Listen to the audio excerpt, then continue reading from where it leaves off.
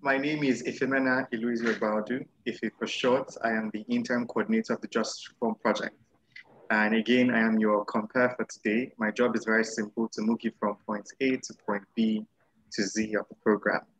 Um, before I call out the first speaker, I'd just like to do a recap of what we uh, went through yesterday. Essentially, discussions yesterday centered around how the bar and the bench, the bench in particular, can function better, how we can, as profession, you know, service the public a lot better. So we discussed two um, models very briefly. We discussed the introduction of the model law and more in more detail, the adoption of a digital court system, specifically the remote hearings. Um, yesterday, we showed um, a demonstration, a mock hearing, which was organized by the Justice Reform Project in collaboration with the Lagos State Judiciary. And we had a few questions and answered a few debates, and it was a very enlightening session.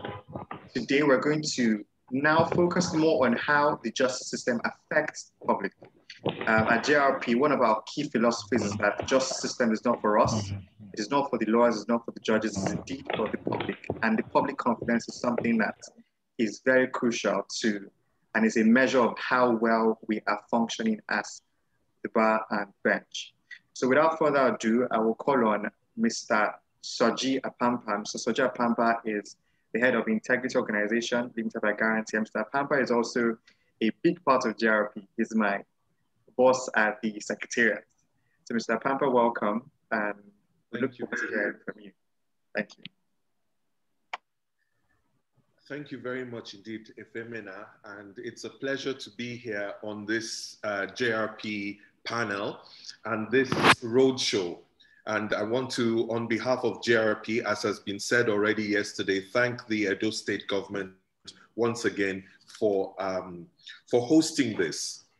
But for the ordinary citizen, the feeling is that the administration of justice system in Nigeria does not work for the poor. It doesn't work for citizens it is really not for ordinary people in Nigeria. That is the uh, predominant feeling. And why is there this strong feeling? This strong feeling has come because people believe that it is for private and special interests.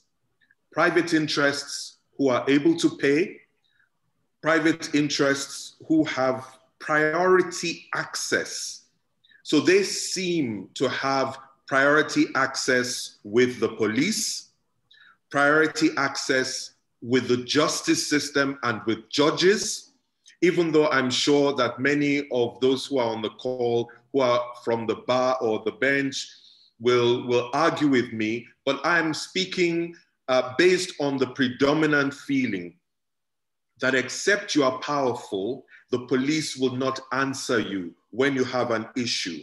The judges, um, again, will, will, will um, tend to answer more um, what the powerful, already powerful in society are saying and asking for, again, maybe because of their access and because they are able to get the right representation as opposed to other members of society. The same thing with the bailiffs, because like the police, if you do not pay to get certain things done, they just will not be done.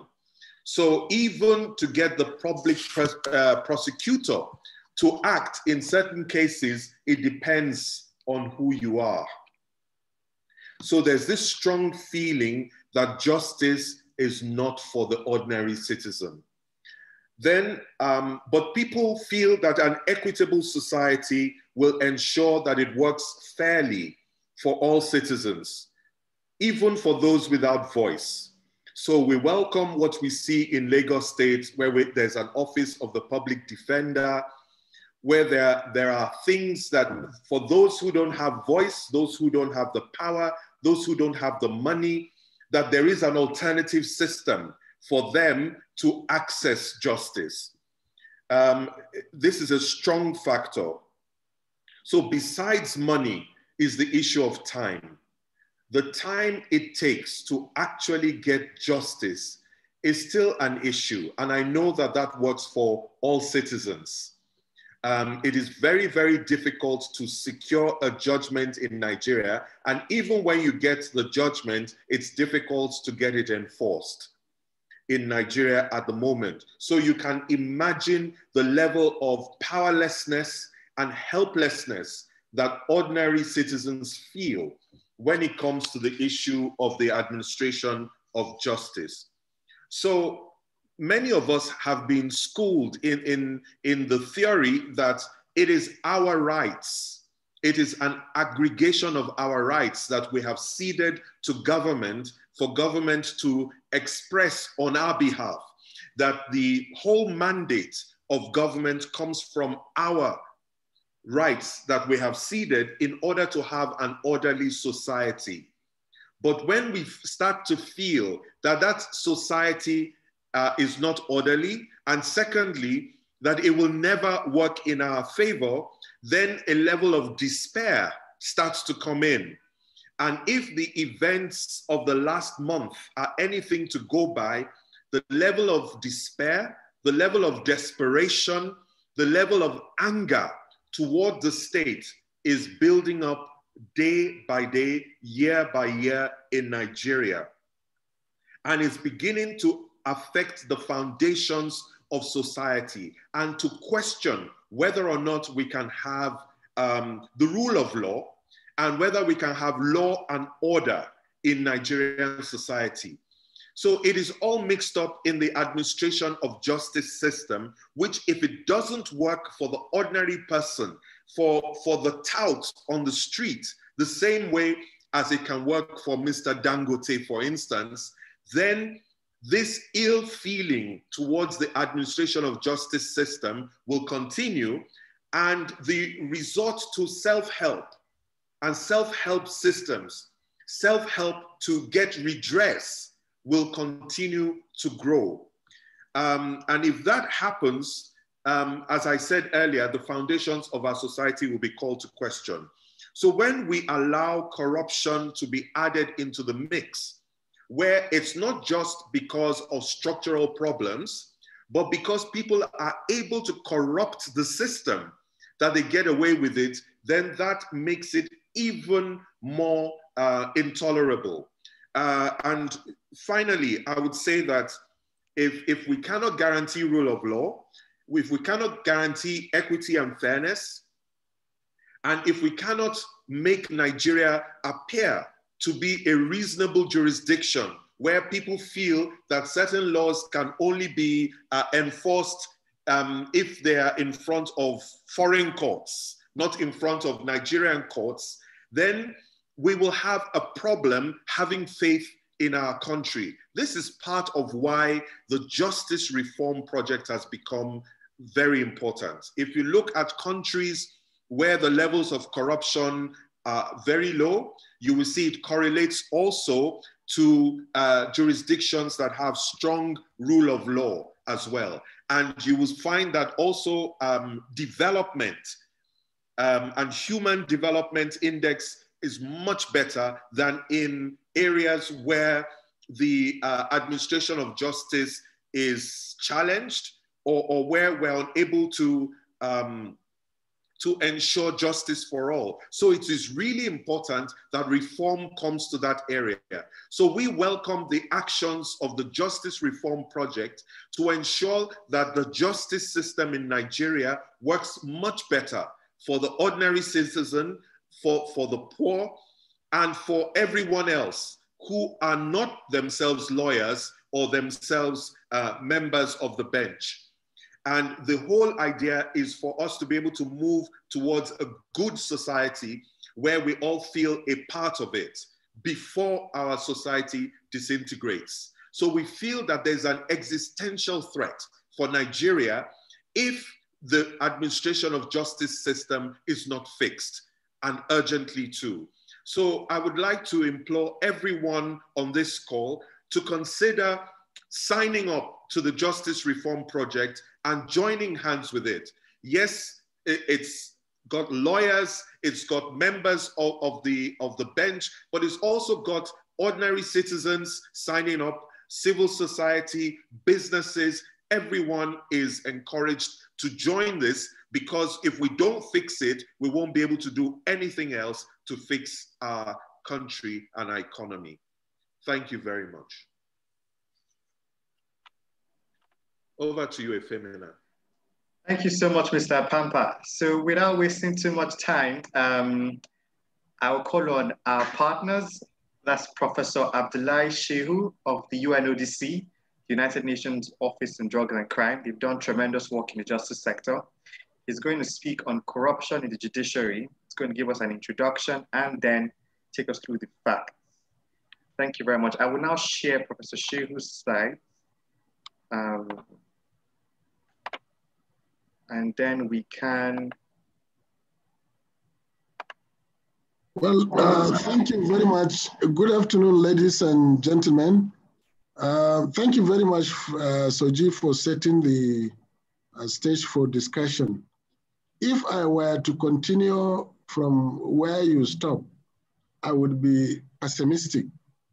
Pessimistic in the sense that um, when we were transiting from the military to democratic uh, governance in Nigeria in 1999, I was so optimistic that it was an opportunity for us uh, to rejig the justice system and improve uh, the speed of justice in Nigeria. So several proposals were made. Uh, they needed this in the justice sector, they needed that in the justice sector.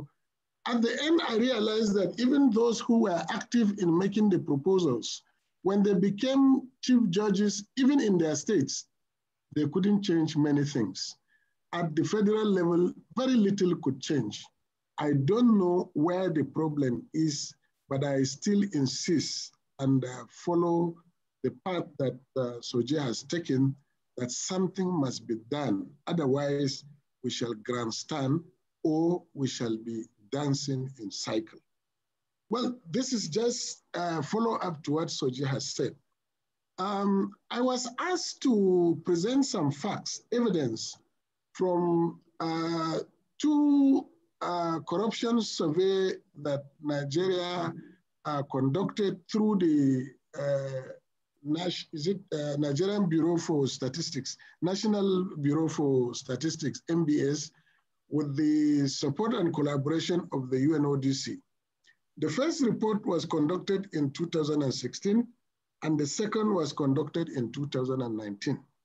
Um, the, the report is quite long, uh, and it dissects the level of corruption in all sectors, not only in the judiciary, in most of the public sector, particularly those public sectors that come into contact with majority of Nigerians on a daily basis. So I was asked to focus on the evidence regarding or emerging uh, from Edo State. So my focus is to give you some facts about what we found uh, coming out from uh, Edo State. But before doing that, let me just give a preliminary background about the study. That unlike most uh, studies on corruption, this study was not a perception study. It was an experience study whereby the people who were interviewed were asked to state their real-time experience with respect to corruption. Secondly, it is not the survey of grand corruption. It is survey on a specific type of corruption that we say is called bribery, which is a form of corruption, of course, and which people, some people feel that the grand corruption is more impactful than this, but that is a relative uh, perception. Uh, therefore, um, the, the figures actually uh, talk about bribery in the, the various sectors that were surveyed, the, the experience of people who came in contact uh, with the various officials uh, in, in, in that report. Uh, the additional aspect of it in 2019 was uh, the other forms of corruption that were surveyed. Uh, in other words, uh, nepotism and vote buying. And their results are also quite revealing. So against this background, I will not present the entire findings of the reports, uh, for, of the two reports, but I'll focus on the second survey report and also focus on the findings emerging from uh, the regional uh, outcome from the South-South and within South-South, I'm focusing on Edo State. And if you want me to draw attention to the justice sector, I will also do that. Thank you very much. Next slide, please. The results, move on. I'm going to talk about the results. Now, Edo State is one of the states in the South-South region of Nigeria with a population of about 4.4 million. Uh, about 39% of the population are urban and 60% rural. Now, with respect to the level of contact that people had according to this report, uh, for Nigeria, the overall contact um, in 2016 was 52.2. In 2019, it was 63, which means the level of contact overall in Nigeria increased. In Edo State, uh, in 2016, it was 79.2, but in 2019, it came down to 65.3. I don't have any evidence to explain this. It could be obviously because uh, people seeking services were not seeking the services that they sought for in 2016. Now, with respect to prevalence, the overall result in Nigeria shows that there was a slight decline of the uh, experience of corruption from 32.3 in 2016 to 30.2 in 2019. For Edo State, um, there is a slight increase rather. Uh, it was 37.6 in 2016, but in, in, in 2019, it was 38.1, meaning that people experience more corruption.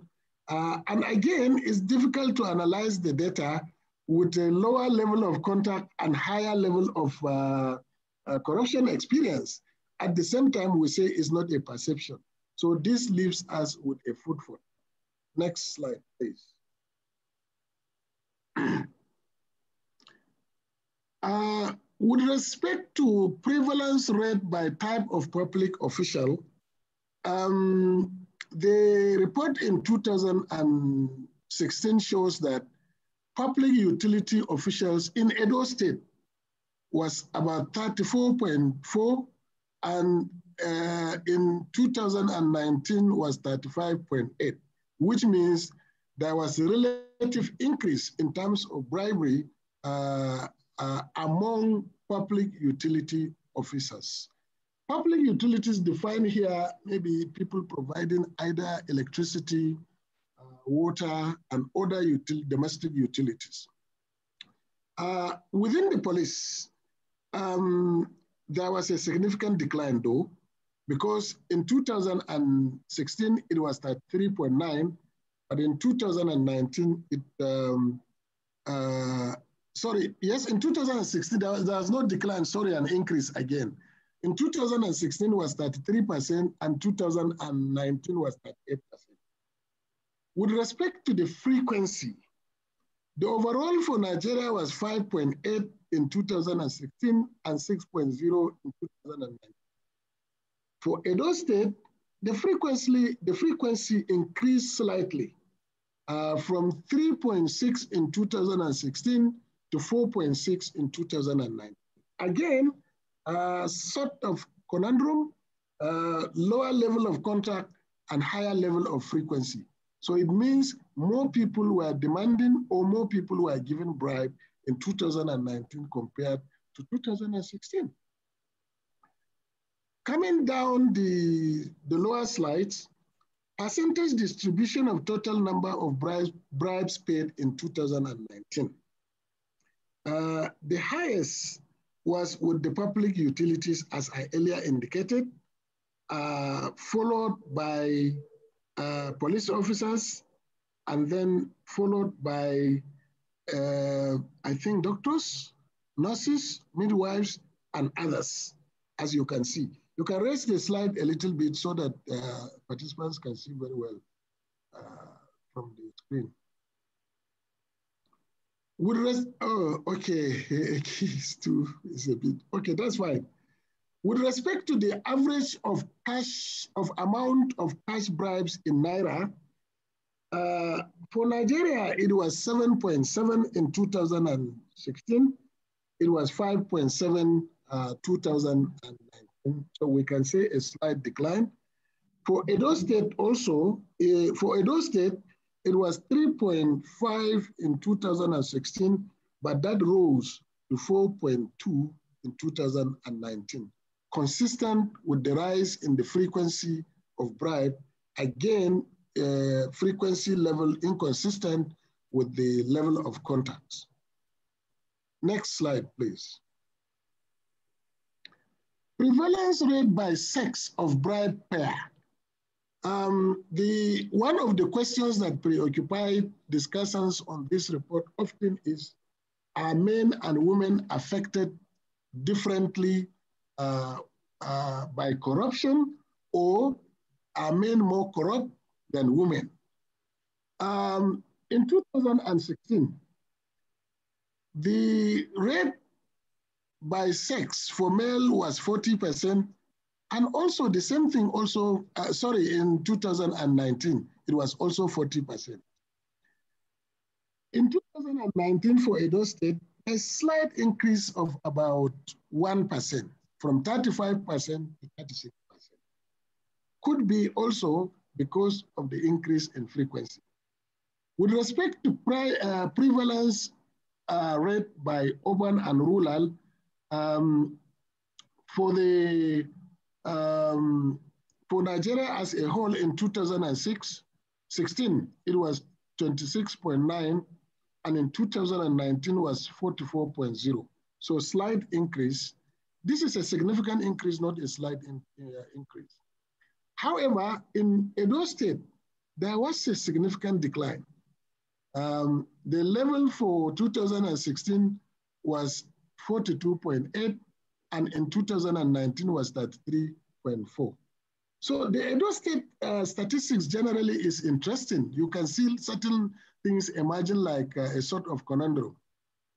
Uh, for what Nigerians considered the most important issue that was for the country as a whole, um, in 2016, uh, people that felt that corruption uh, sorry, unemployment was the major uh, problem. They were just about 14%.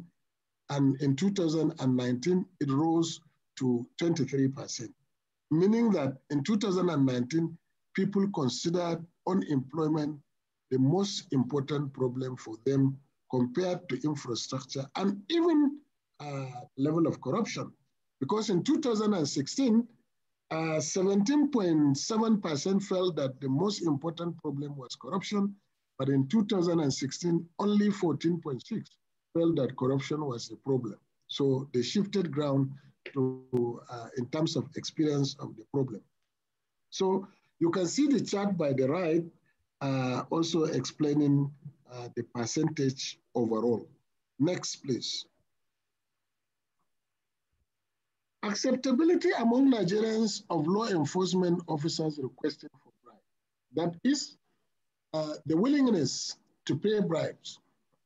In 2016, 69% said they never or they will not pay bribe. 63% said uh, they will or they paid bribe in, sorry, let me get this correct. Uh, in, yes, uh, that is for the ages between 18 and 24. For 35 to 49 years old range, 73% in 2016 resisted paying bribe, 61% resisted paying bribe in 2016, uh, sorry, in 2019. For 50 to 64 years, in 2016, 73% resisted paying bribe, But that declined in 2019 to only 58% for those who decline. Now, awareness and effectiveness of anti-corruption, uh, because if you have a problem of corruption, you are expected to report. But are people aware of the places where they are supposed to report? In 2016, 40% said, yes, they are aware of the police and they could report to police. And 25% said they knew the police, they could report to the police. 73% uh, said they will report to EFCC, meaning that they had more confidence in the EFCC than the police. And 63% said so also in uh, 66% said so in 2019. So some 54% uh, said they were going to report to the Federal High Court. And in 2019, 53% said they will report to the uh, High Court. 37% uh, said they will report to ICPC, and 25% in 2019 said they will report to ICPC. Uh, you can see the, the, the rate for high, FCT High Court, which was distinct because some people could not differentiate between a High Court and the Federal High Court. So some, some referred to the Federal High Court, especially those interviewed in Abuja, and 30% in 2016 said they will report to the FCT High Court, and 15% only referred to the FCT High Court in 2019, respectively. Next. Uh, other forms of corruption, vote buying. Uh, for Nigeria, for vote buying was only an indicator in 2019. So there is no comparator data for 2016. And in 2019, 21.1% said the, the, the, they either sold their vote or they were approached to sell their vote. That is for the Federation. About 23.9% in Edo State said this happened. Whether this is true with the last election or not, um, it is something we can ponder on.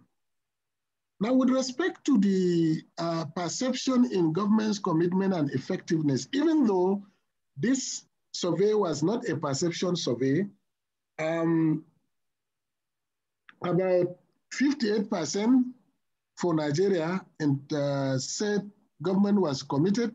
No, no, no, no, no. In 2000, and I can analyze this data, what this uh, is actually saying. Um, Okay, for, for, for, for, for Nigeria as a whole, I think it was 58%, and for Edo State, it was 51%. With respect to the effectiveness of anti-corruption measures in Nigeria, it was 39%, uh, no, is it 2000? No. Yes, okay, this is 2016 data, and then it went down to 31% in 2019. Perception and government's commitment and effectiveness continues. Uh, down here in 2016, 2016 for Nigeria, it was 53%. Uh, in 2019, it was 39%. So people felt that the commitment is declining. Uh, for effectiveness, it was 40, uh, for Edo State, it was 46. I think it's Edo State. Can you can you raise the okay for effectiveness? Sorry, not Edo State. For effectiveness, it was 46% in 2016 and 31% in 2019, meaning that um, the perception of commitment and effectiveness of the anti-corruption uh, effort of government has declined uh, in between 2016 and 2019, respectively. Next slide, please.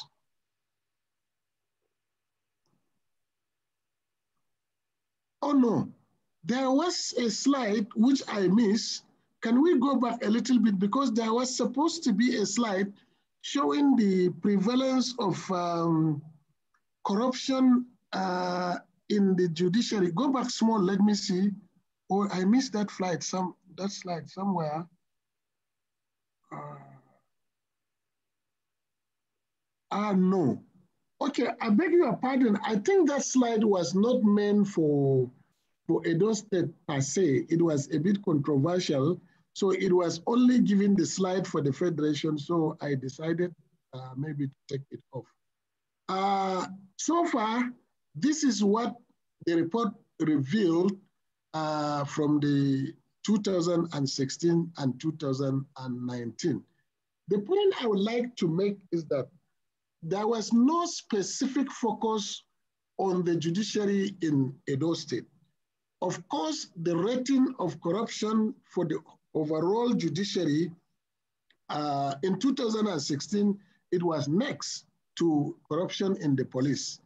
Uh, in 2019, it declined a little bit, but this is not something for discussion since the essence of our discussion here uh, is for Edo State, and I did not want to confuse you by bringing a national, uh, by bringing national data uh, to analyze for one particular state.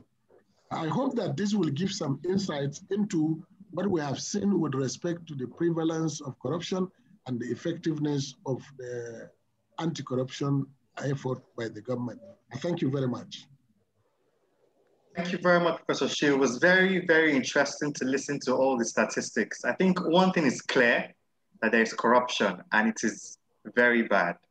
Um, I also think that regardless of how we put it, the fact that there's so much corruption, it is judiciary's responsibility to ensure that the public is aware that where a bribe, where there's a bribe, where there's a crime, where there's any form of infraction, they can seek remedies with the judiciary. And to some, to a very large extent, it is our duty as the bar and as the bench to ensure that even within our judiciary, we clean up the stables and ensure that there's no corruption or as little corruption as possible on the inside so we can clear out the outside.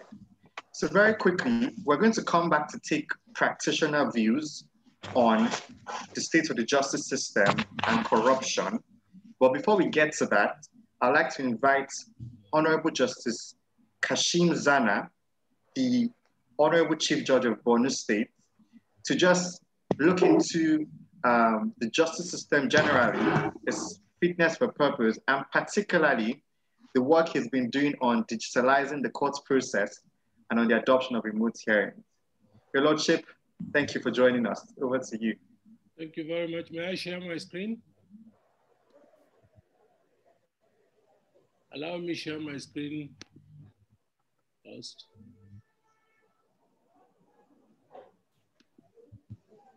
Okay. Yes, you can now, Your Lordship. Okay, thank you very much. And I must apologize for those who may have been present yesterday. There was a mix up and I thought it was today. Actually, initially I thought it was Saturday until I remembered Friday and it, it was wrong too. So I guess I have 15 minutes uh, to present what I have. I saw the I saw my topic actually today a few uh, about an hour ago, but uh, fortunately, the fact that it's Justice Reform Project is the technology working? Is my screen visible to you? Yes, it is, Your Lordship. Yes, okay, it is. And I come clear, good. So, but it fit in uh, very well. Actually, the initial topic I was given was uh, to talk on remote hearings. I've talked so much on that that I thought uh, I'll, I'll, be sounding like a broken record. But still, I'm going to talk on that within the 15 minutes if I can. Uh, now, basically, what I'm trying to present is the reform effort as it concerns court automation and uh, the work we've been doing. The committee I head, the Judicial Information Technology Policy Committee, was set up by the NJC, precisely Justice Mustafa of blessed memory. And uh, we've been working on it and have been probably too ambitious with hindsight uh, nevertheless, we have arrived at the stage where I can say we are now making the first boarding call. And uh, basically, it's to have an integrated court automation solution for the judiciary and ultimately for the justice sector. And in that effort, uh, uh, I'm not sure I can get my slides to move. Okay, good. So in that effort, we've designed a few, we've uh, come up with a few massive actually uh, software and rolled out and are now rolling out. Now, what is what are they? One is a custom communication solution, legal mail, and it's designed to address some observed lapses that have occasioned. Actually, they even touch on corruption a lot because of the lack of transparency in the communication system. Bailiffs going to start coming back with proofs of service that happen to be just bogus and all sorts of things that you're familiar. Then again, as a service-oriented institution, increasing our efficiency, e-filing, but the bedrock of it is the case management system. The Nigerian case management system is what we developed and are now rolling out. And uh, it's important that we have the same uh, database for all the superior courts in Nigeria, that is Supreme Court, Court of Appeal, State High Court, National Industrial Court, FCT High Court, Federal High Court. Now, we are hopefully, if our adoption management works, early next year, we should have that completely rolled out, but that's an, an ambitious one. Is I would rather say for those courts that are willing to start. Now on my screen is what you will see as the NCMS e-filing. That is the e-filing into the Nigerian court management case uh, system, case management system. This is what you see as your screen as a legal practitioner, as a lawyer if you want to file a case. As you can see, the dashboard on the left has some of the functionalities you will want, but particularly I'll draw attention to the drop down uh, on the screenshot that I took, where you now see Borno State, Borno High Court, Court of Appeal, Federal High Court, National Industrial Court, Supreme Court. Yes, first instance, as you see, is the button selected. All these courts, rare it may be, but it was not a mistake. We allowed them also first instance filing because even the Supreme Court does have that once in a while. So this is it. And uh, I, even yesterday, I was, uh, when I received the call, I was in the final UAT that we are doing the user, user acceptance testing. It's not easy because we're doing it for all the courts. As soon as you select on the drop down now, it takes you there. And that is when you now drill down into the specificity of the courts and their procedures. This is where you get your reports as a legal practitioner, where you see your cases in progress, where you see requests for filing uh, a new case, because it is a request when you send it, and then when the system processes it, it sends it back to you for fee payment. After you pay the fee, it, you, send, uh, you, you, send back your uh, paid, this thing is Remita, is online payment. Uh, we can bring in other, other payment solution providers later. It's not restricted to any. We're very careful not to promote any one business uh, uh, in, uh, against the, the interest of others. So it's there, but right now, most government establishments use a Remita. So we're starting with Remita. So you get these ones, and then you pay your fees, it goes back, and then the case is uh, moved on in the case management system now to uh, the stages that each court have. Some go to DCR, some go, the, the, so we configure each court according to its own uh, specific rules. And then it's assigned and you get your notifications and you come back to your dashboard, your own account, and you will see the progress or the status of your case. There is also in case of you want to file documents in exist, your existing case or into another existing case. Maybe you've just been briefed. Now, I must emphasize this. That is the part that will expect the cooperation and the sacrifice, the little effort it takes legal practitioners to get that legal email. Because it is with the legal email that you are already pre-authorized, pre-authenticated, pre-checked, pre-verified. Therefore, giving us the opportunity to now have this nationwide whereby, for example, you're sitting down in your chambers in Oshodi, and that cattle dealer who was sued in Borno and happens to be maybe your neighbor and trusts you and wants to engage your services, you do not at all have to go to Maiduguri to file your case. You don't need any practitioner in Maiduguri even to stand in for you. You just log in with your Nigerian bar at nigerianbar.ng. And because we know you've been verified by the NBA, we have checked your, your name on the roll, we have finished all the verifications. You don't need to register with Borno uh, judiciary e-filing system. No, you just go, go ahead and send in your filing request. So that is why it is important. There are so many other things I can say about the email. Actually, it is more visionary than what we have now. A lot of things is going to be your legal identity, just the same way you flash an identity card and move in into our sites. So many functionalities.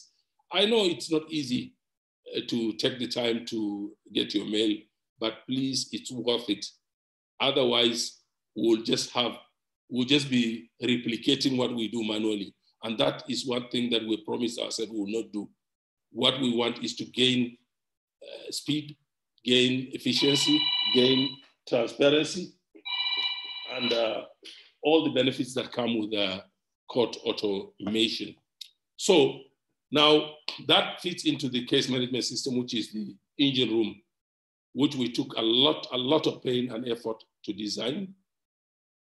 And it's designed particularly in such a way that courts, individual courts or state courts that I know I am a state chief judge, I know how difficult it is for us, unlike the federal courts. So we designed it in such a way that the NJC does the heavy lifting, and I still maintain my interpretation of the Constitution, that being responsible for the recurrent expenditure of all uh, high courts uh, means it is their responsibility. Yes, they do some capital expenditure, some hardware, but even that is capital expenditure necessary for them to deliver recurrent expenditure. I know you're lawyers, but please support me on this one. So, so far so good. I have not faced much resistance. A lot of the heavy lifting has been done. I know that because I started uh, attempting court automation in my degree in Borno State. And at a certain stage, even after getting a case management system donated to me by the National Center for State Courts of the US, I couldn't just move ahead because the capital outlay was beyond what I could even ask for, lest I be sent to a psychiatric hospital by the government. So it was a good opportunity when the, uh, it came for me to do the assignment nationally. I, did, I, I, I was determined to do it in such a way that all states, all courts can use it. So we own the source code, source code of the software.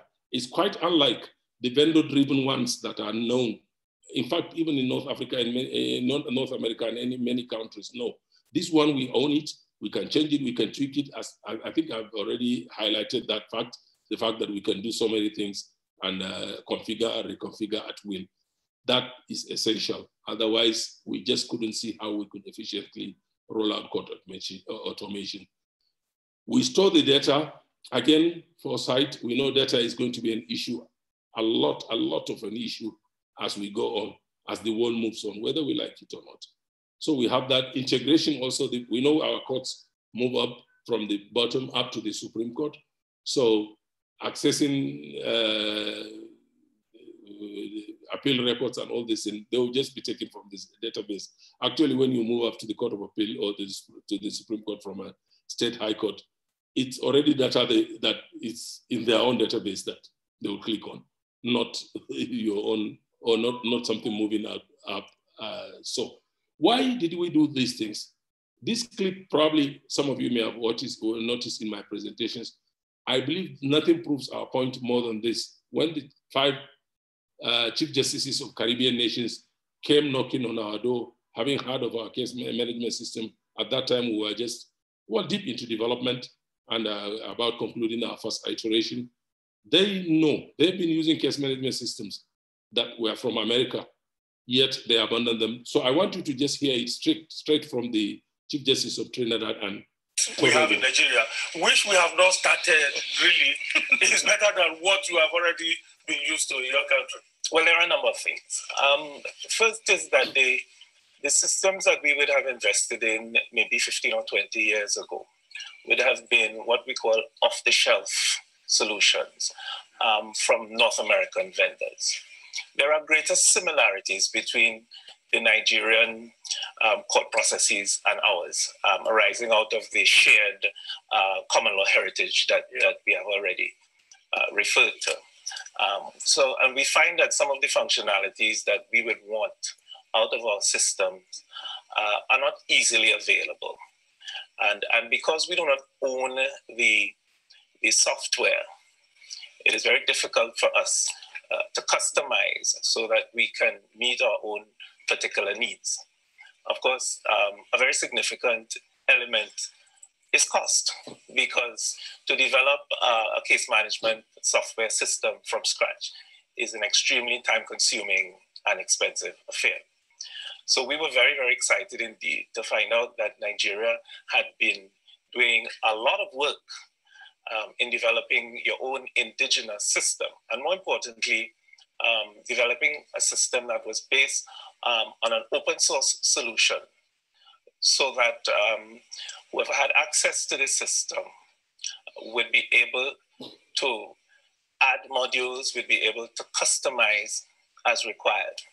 Uh, for us, it, it, represents an exciting opportunity to deepen the kind of uh, collaboration and cooperation that we have already enjoyed with our cousins in Nigeria over. Yes, so actually to continue on that uh, track, there's a lot of uh, stories to tell about uh, our effort in this one and the international traction it has gotten, uh, but that's the subject for another day. Uh, suffice it to say that Trinidad and Tobago have already rolled out their own and as our uh, memo of understanding uh, stipulates, they develop something related to that or a plugin. They are to share it with us. They have already sent us uh, an ODR module that when we kick off, we can use. So quickly, what does it take to have it? Now, I made a presentation to all courts, heads of courts just last week, and a lot of, some of the slides are actually from that presentation. It is titled, The Ball is Now in Your Court, and it is in the court of everybody now. As far as the JITPO committee, or my committee is concerned, we have done our job, uh, but then, of course, we'll be there to make sure that it's adopted. So just commit and take charge if you're the head of court, or if you are an influential uh, SAN, commit and take charge. We advise state judiciaries to set up IT committees headed by judges selected purely based on their commitment to automation. And then we'll layers with them and roll it out. We have sent out the NJC through the NJC checklists, which have been circulating to all, almost anybody who wants to have it, that this is all it takes for you to get on board. Once you check all the boxes, call the NJC. This is the checklist. Uh, and uh, as you can see, these boxes are there because we want to be precise. These are minimums. You can have more depending on the size of your judiciary or because depending on your resources. You can have, uh,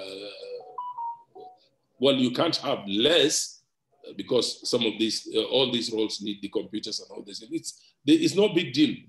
The biggest item, uh, ticket item on this one is the uh, high-end uh, industrial scanner for scanning our backlogs. And even that one is uh, really not much to go about. The prices may differ because there are so many types, and we don't insist on any particular type, but from five to seven million. And for an average judiciary, you need only two or so. And this is even a transitional thing. Once we upload and our e-filing system takes off, you will need less and less of it. But I still advise that we buy because next stage is administration itself. We need to automate that too. There is a lot of, uh, I mean, this corruption talk you will see. uh, has a lot to do with the way we work, paper-based approach. So, like this scan station, just to give you an idea of how it works. So this is my scan station in my one of the stations, and they're busy uh, digitizing, uh, scanning our backlog of cases, and then which they will, they have in fact uploaded into our system. Actually, we're on the staging environment now we had to wait. I had to, I, I campaigned to have another state do it so that I don't be, I will not be accused of, uh, I mean, taking over the, well, you know what I've, I've already said it. It will be a failure if only my state does it, but it's late. It's on this remote hearing that I realized that that approach wouldn't work. The best approach that will work is just do it and demonstrate it and say it's doable and I didn't do it out of my own resources, but from the NJC provided platform only with the minimum being done by me. So now, yes, of course, I delayed uh, upgrading my systems for quite some time because I knew we were coming to this day. So it's only when now the rollout started that we decided to bring out new, we replace all our computers actually, which is something that uh, going forward, we'll be advising judiciaries to do because these computers, I mean, there is a lot of improvement in the systems and all these things, and you really need to replace them once in a while. These are my my boys. I'm so proud of them. My geek squad, I call them. There are so many. This is just a few of them that took the photo. So they are busy setting up the new systems. This is this is just my court. Inside the court, they're setting it up. It's not for one court only. It's for the entire court. These are all uh, pieces that they are setting up. I always advise that please, please don't use pirated software. Get licensed ones a lot of the big licenses like Oracle license and all these things that are costing millions are all going to be provided by NJC. NJC is going to pay. It's the current expenditure, is their responsibility. But the ones that you use at your own small server and all these things, not much really, they are, they are not much. Get, get it, uh, get the right one. Well, yes, training is part of it, but it's minimal really if you have the good manpower. This is my one of my guilty pleasures. I've always, I was always dreamed to be a teacher. And immediately I was made CJ. The one thing I wanted was a CJ, was a training room. I had another one, JRC. Yes, UNODC, thank you very much. That one was actually provided by UNOC, UNODC. So I've been using that until I wanted to upgrade it. And I've been lucky. I got a, a governor who, when I told him what I've done, he came in and he said, look, this is not good enough. And uh, he actually was coming in to supervise there was one incident when I, we met at the airport. I took the flight that brought him from Abuja, and I told him I was making progress. When I landed in Abuja, my CR called me. The governor was here, and he has ordered that some more things should be replaced. So not everybody is lucky, but I've been that lucky. What you see now being on display is the case management system. The training was just about to start for uh, some of the court staff. They all picked up so fast, you won't believe it.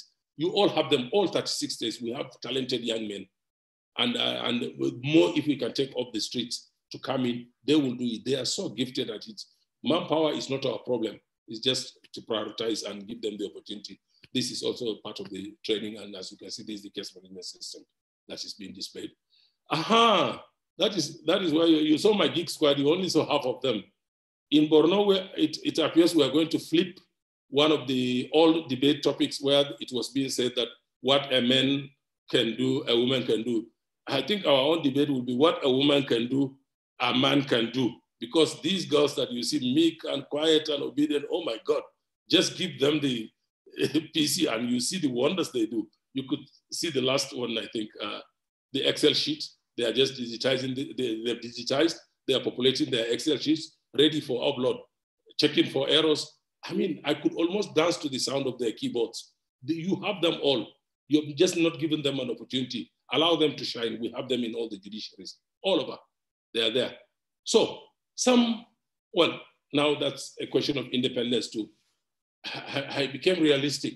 Some courts may not be able to do what they want uh, with their this thing. If somebody somewhere has a vendor-owned system, we are not going to say, no, go away. No.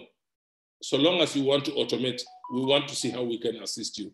If, for example, your governor insists on giving us a, a job of this thing to somebody or this thing, we know I don't want to uh, castigate any one of them. A lot of our startups are doing very well and supporting the automation airport.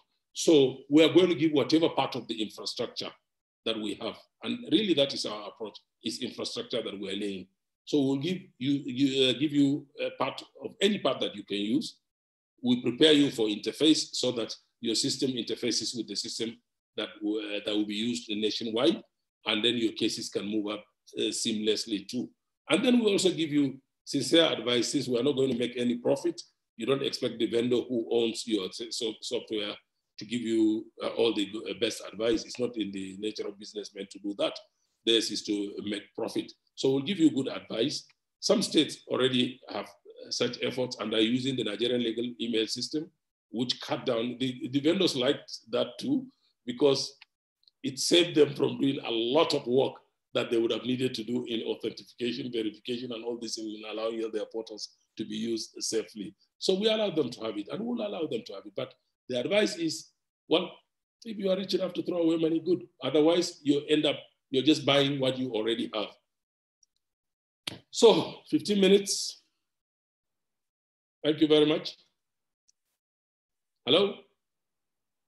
Thank you very much, my Lord. Um, thank you for sharing. I was both enlightened and fascinated. This is a lot going on um, in the NJC, and it's very good to see um, all that's going on on that end. All right. Let's, so let's say for the, the element of the. Hello? I can hear you, Lordship. You said the element of. Yes, can you see the screen? Yes, the screen is down now.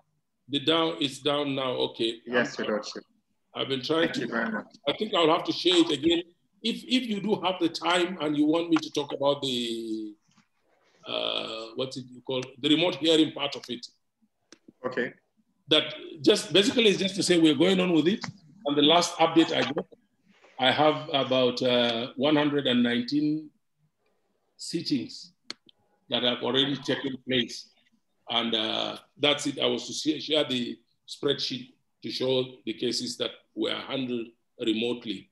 And then we have a plug-in. Actually, we have an E3 license our uh, our e-filing is going to be hosted on the micro, uh, Microsoft Azure. And because of our license, we already had a plug-in that you could use for, for remote hearings, a complete package.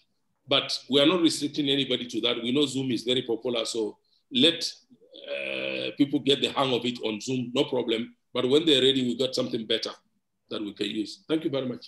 That's very interesting. Thank you so much, my lord. There's a question here, very quick question. It says, on the court automation system, yes, is there a fail-safe process in place in case of a system crash? So that's one question. Yes, that's a very, very good question. It's one of the questions that we always ask and we ask and re-ask. Failure, even malicious uh, attacks and all these things. We are doing all we can. First, to have uh, backup, active live backup that will just take on seamlessly in case some part fails, and also the cold backups too. It's not easy because even the best of ones get uh, into trouble. Just last week, we reviewed an incident that happened in the US too. Ah, incidentally, I think Maricopa County. so they, it, they spent, even when they recovered, they spent $1.6 million to recover. So we know how tough this is. We're doing our best. We'll continue to do our best. We can never sleep on that one. And actually, it's not something you do once and for all. You'll have to continuously check and recheck. You will have even a team of hackers, our own. It's called white hat hacking, ethical hacking, that will be trying to hack into our system continuously, testing our uh, our, our, staff for, for, for being uh, always ready and all this. It's, it's a difficult thing, but it's a very good question we are, we are, we are aware of that. We're doing our best. Thank you so much, Your Lordship. Just, um, there's two more questions. The first one is the platform for remote hearings. How much more, would I say, how much better is it compared to Zoom? What are the advantages? Okay, very, very simple. Just go, go to YouTube and search for Microsoft Digital Justice All right. In all Microsoft Digital Justice. digital justice. In all likelihood, the first one that you, the first result you see, click and play that, and then you you will see what we're talking about. Very interesting. And somebody's Yes. asking how they can get more information on Borno's case management and who to contact. It's not Borno's case management; it's the Nigerian case management system. The NCMS. All NCMS is all Nigerian courts, High Court, Supreme Court, Court of Appeal, National Industrial Court. You've seen what I've shown you on the drop-down list. So it's Correct. for all. So it's just when you go into the NCMS, once it's on uh, to your e-filing uh, this thing, you just select on the drop drop down wherever you are, and then if you have the Nigerian legal mail, you're good to go. And that one is the one that says so so so at nigerianbar.ng. That's NG. Yes, that, right. that, that verifies you and you have access to it. You just file straight, wherever, whichever court you want. Very interesting. Emmanuel Abraya, I can see your hand is up, so I'm going to allow Emmanuel to talk now. I guess you have a question. Just very quickly, we have just five more minutes to spare for question.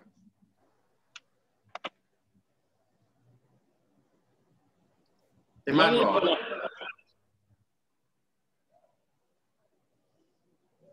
uh,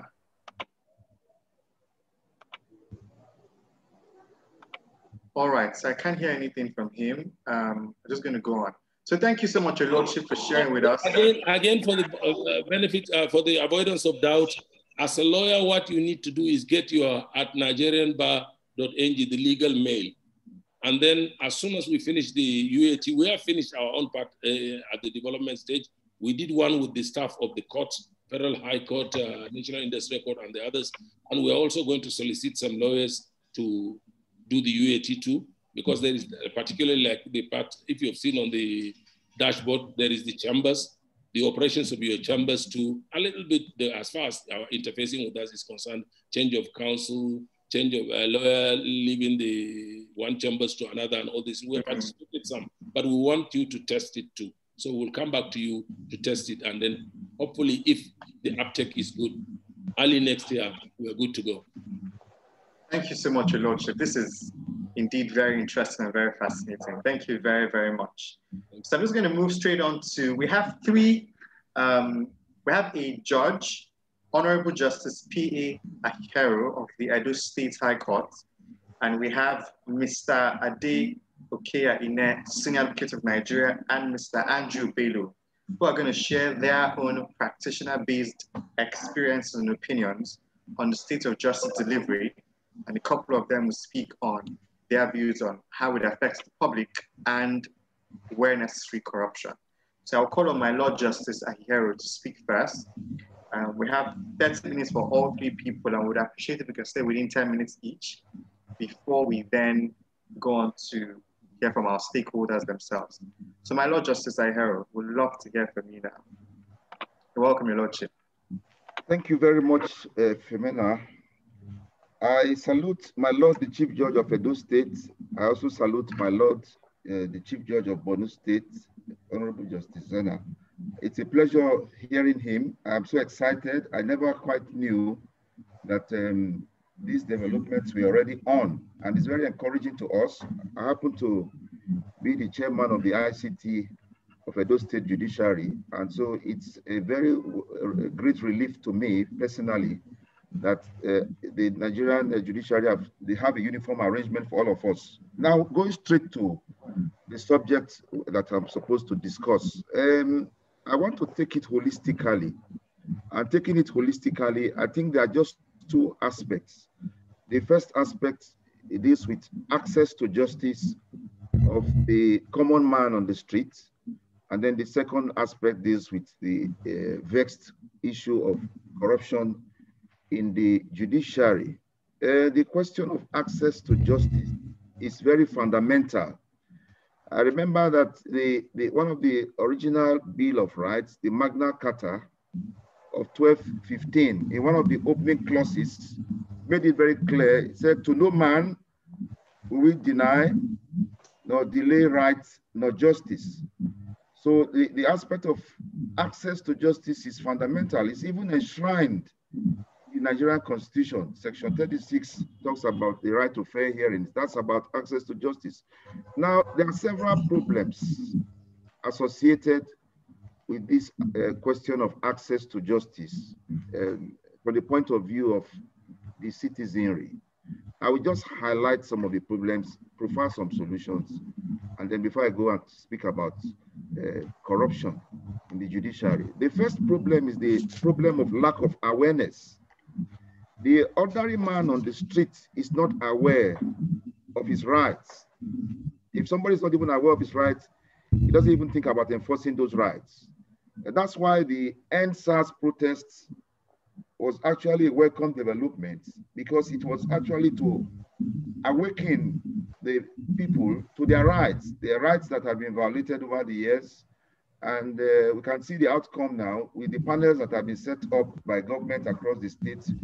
People are now coming up, rights that have been trampled over the years, they are now ventilating them before these uh, panels. So the, the first problem is the ignorance, and I think it has to do with the literacy, the level of literacy of people on the streets. Many people are illiterate, and so they don't even know when their rights are being trampled upon. And then the second aspect is that of uh, inability to afford the cost of legal services. It's a big problem.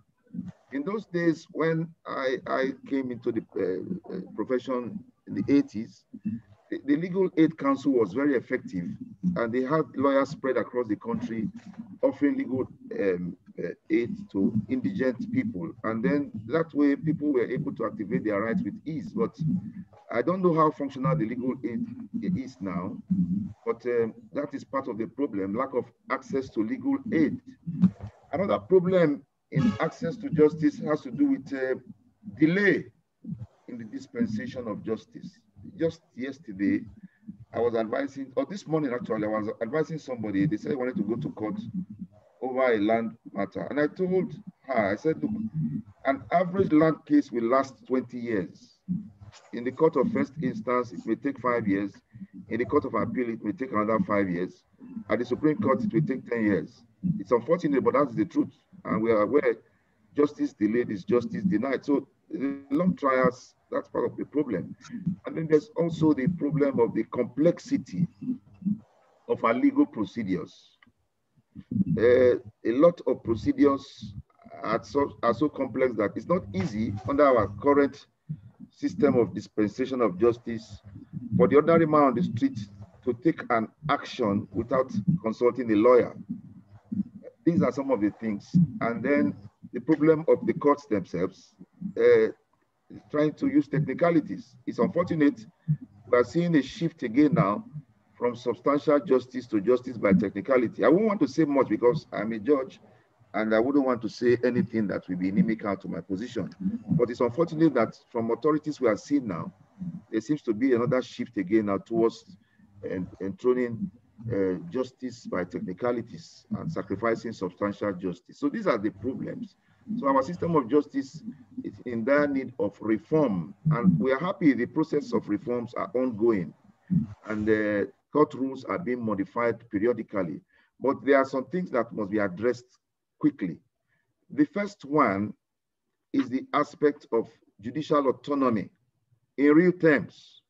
That's why we talk about independence of the judiciary. A situation whereby I, I listened to my Lord Justice Zannah just now. Some of these things can actually be done if the funds are available.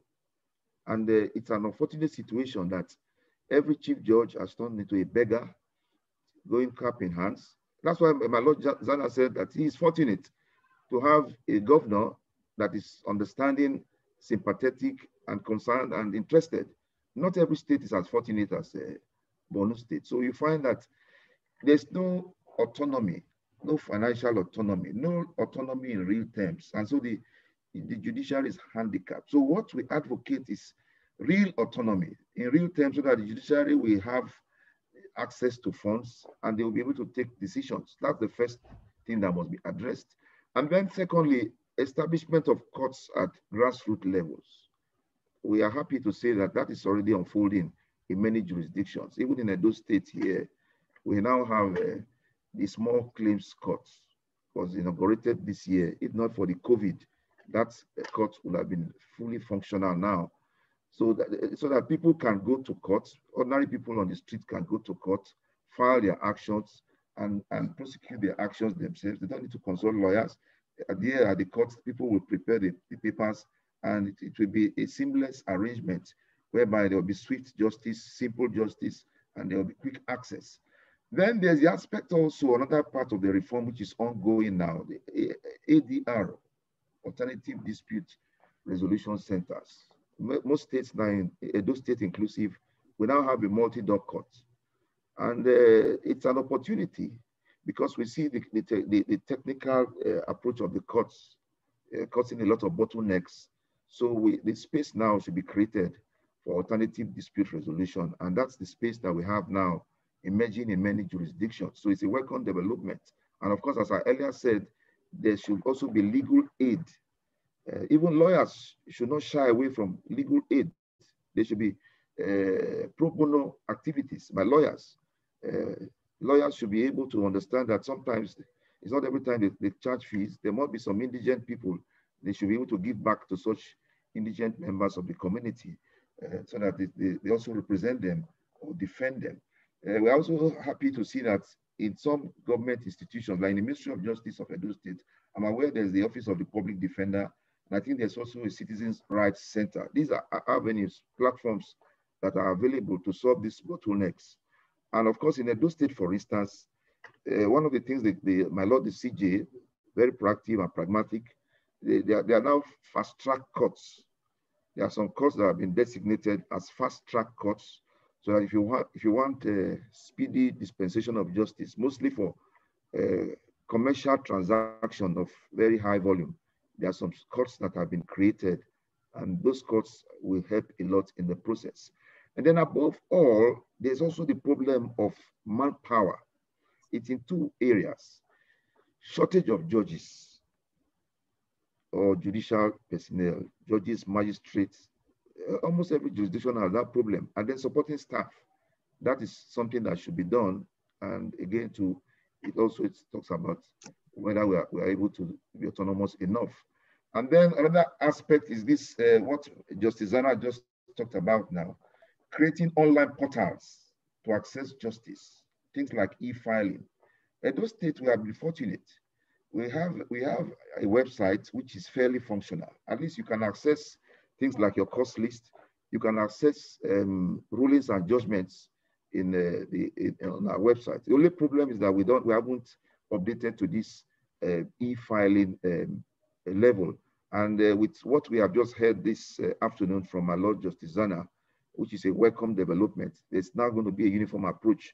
We'll go through the checklist and we'll see as much as possible how we can also get on the e-filing platform very soon. Uh, so all these things actually call for a synergy between the bar and the bench. So, and uh, luckily, we have sometimes interactive sessions with the bench and with the bar, and they also give some ideas on some of these things. I go straight to the issue of corruption in the judiciary. Now, that is something that has negative consequences, even on the problem of access to justice, because poor people, poor people cannot even afford to access justice. And when they are now able to access justice, they now meet with the problem of corrupt uh, judicial officials. Now, on, uh, it, it, the corruption in the judiciary goes beyond the judicial officers. It extends to the supporting staff. Let's take note of that. It extends to people who are involved as supporting staff, court registrars, bailiffs, even police prosecutors, even sometimes orderlies. There have been instances of a judge sitting in the court and it's only tries to take a stroll around the court premises. And all he's doing is to, to connect with people and to collect base bribes from them, ostensibly to hand over to the judge. And there's no, nothing like that going on. So it's, it's, it's a hydra-headed problem. And uh, so it, it, it, it's, it's, it's, it's inimical to the, the system of justice. In recent times, however, there has been hue and cry over some uh, uh, trial of some judicial officers. Uh, I, I want to say something. Um, it is true, um, Professor Shehu gave his data, but the unfortunate aspect of his presentation was that the judiciary was was was lacking, particularly those state now, our state. I would have thought that the data would have assisted us to have a picture of the, the state of things. um, how be it, we, we need to understand that we cannot shy away from the fact that there are some bad eggs amongst us. The trial of some of the um, um, uh, judicial officials in recent times was quite uh, an eye-opener. Uh, some of them, humongous sums were recovered from them, outlandish assets were seized from them, and it doesn't take anybody to understand that behind every great fortune, there must be a crime. Behind every great fortune, there's a crime. If you read the Godfather, you will see that that's the opening phrase in uh, Mario Puzo's Godfather, that behind every great fortune, there's a crime. And so when you see judicial officer with staggering wealth, they have properties in Lekki, they have properties in Maitama, they have properties in the US, they have limousines, there's a problem. And so we cannot shy away from the fact that there must be need sometimes to investigate these uh, type of people. But the problem is the procedure, the procedure adopted by government. You see, if you look at the constitution, I think the third schedule of the constitution, you will, you will discover that the disciplinary procedures for judicial officers, both judges and, the, and, and the, those in the lower courts, they are enshrined in the constitution. It's, it's within the jurisdiction of the National Judicial Council to investigate and discipline uh, uh, uh, judges of superior courts. And then it's within the jurisdiction of um, the Judicial Service Commission of the states, and then that of the uh, uh, Federal Judicial Service Commission to uh, also carry out disciplinary proceedings against um, judges of lower courts. So a situation whereby uh, government agencies, police, EFCC, they swoop on judges in the midnight and carry them and then begin to break into their houses as if they are, they are, they are, they are common criminals. They, they, they should follow due process. That is why we say they should follow due process. If they follow due process, nobody will quarrel about uh, judicial officers being uh, investigated by, by, by, by, by uh, government agencies. But the, the proper procedure must be followed the NJC and the JSC, they must be allowed to do their preliminary investigation. They must exhaust remedies at that level before uh, police begin to swoop in arbitrarily. And uh, so we, we, find that uh, that is one aspect that we should be very careful about. However, um, judicial corruption can also arise from what I would call the politicization of the judiciary. There's um, an ugly trend now that uh, judicial officers are going into the political space. They mingle with politicians, they interact so much with politicians, and it's not going to help the system. It will not help. And so we see politics coming to play. We can see the ugly situation now. I think it's in Cross River State. A chief judge has been cleared by the National Judicial Council, and the sitting governor has refused to, to, to, to swear that chief judge in as the substantive chief judge. Perhaps he wants his own crony. He wants a political judge. Perhaps he wants somebody who will be there. So that, that's a problem. However, there are suggestions. I just want to put some suggestions.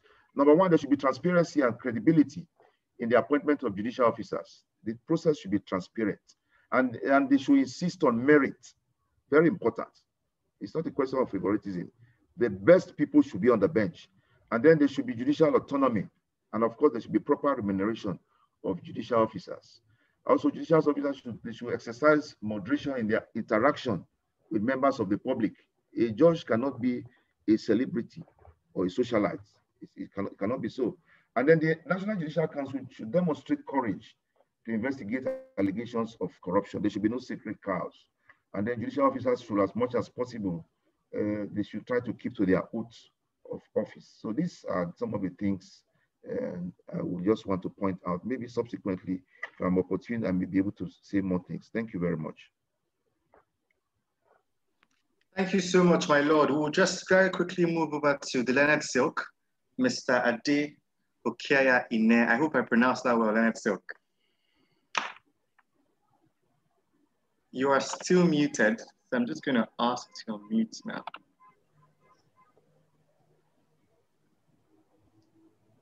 Can All right. Yes, I can hear you loud and clear. Thank, thank, thank you, very, much. much.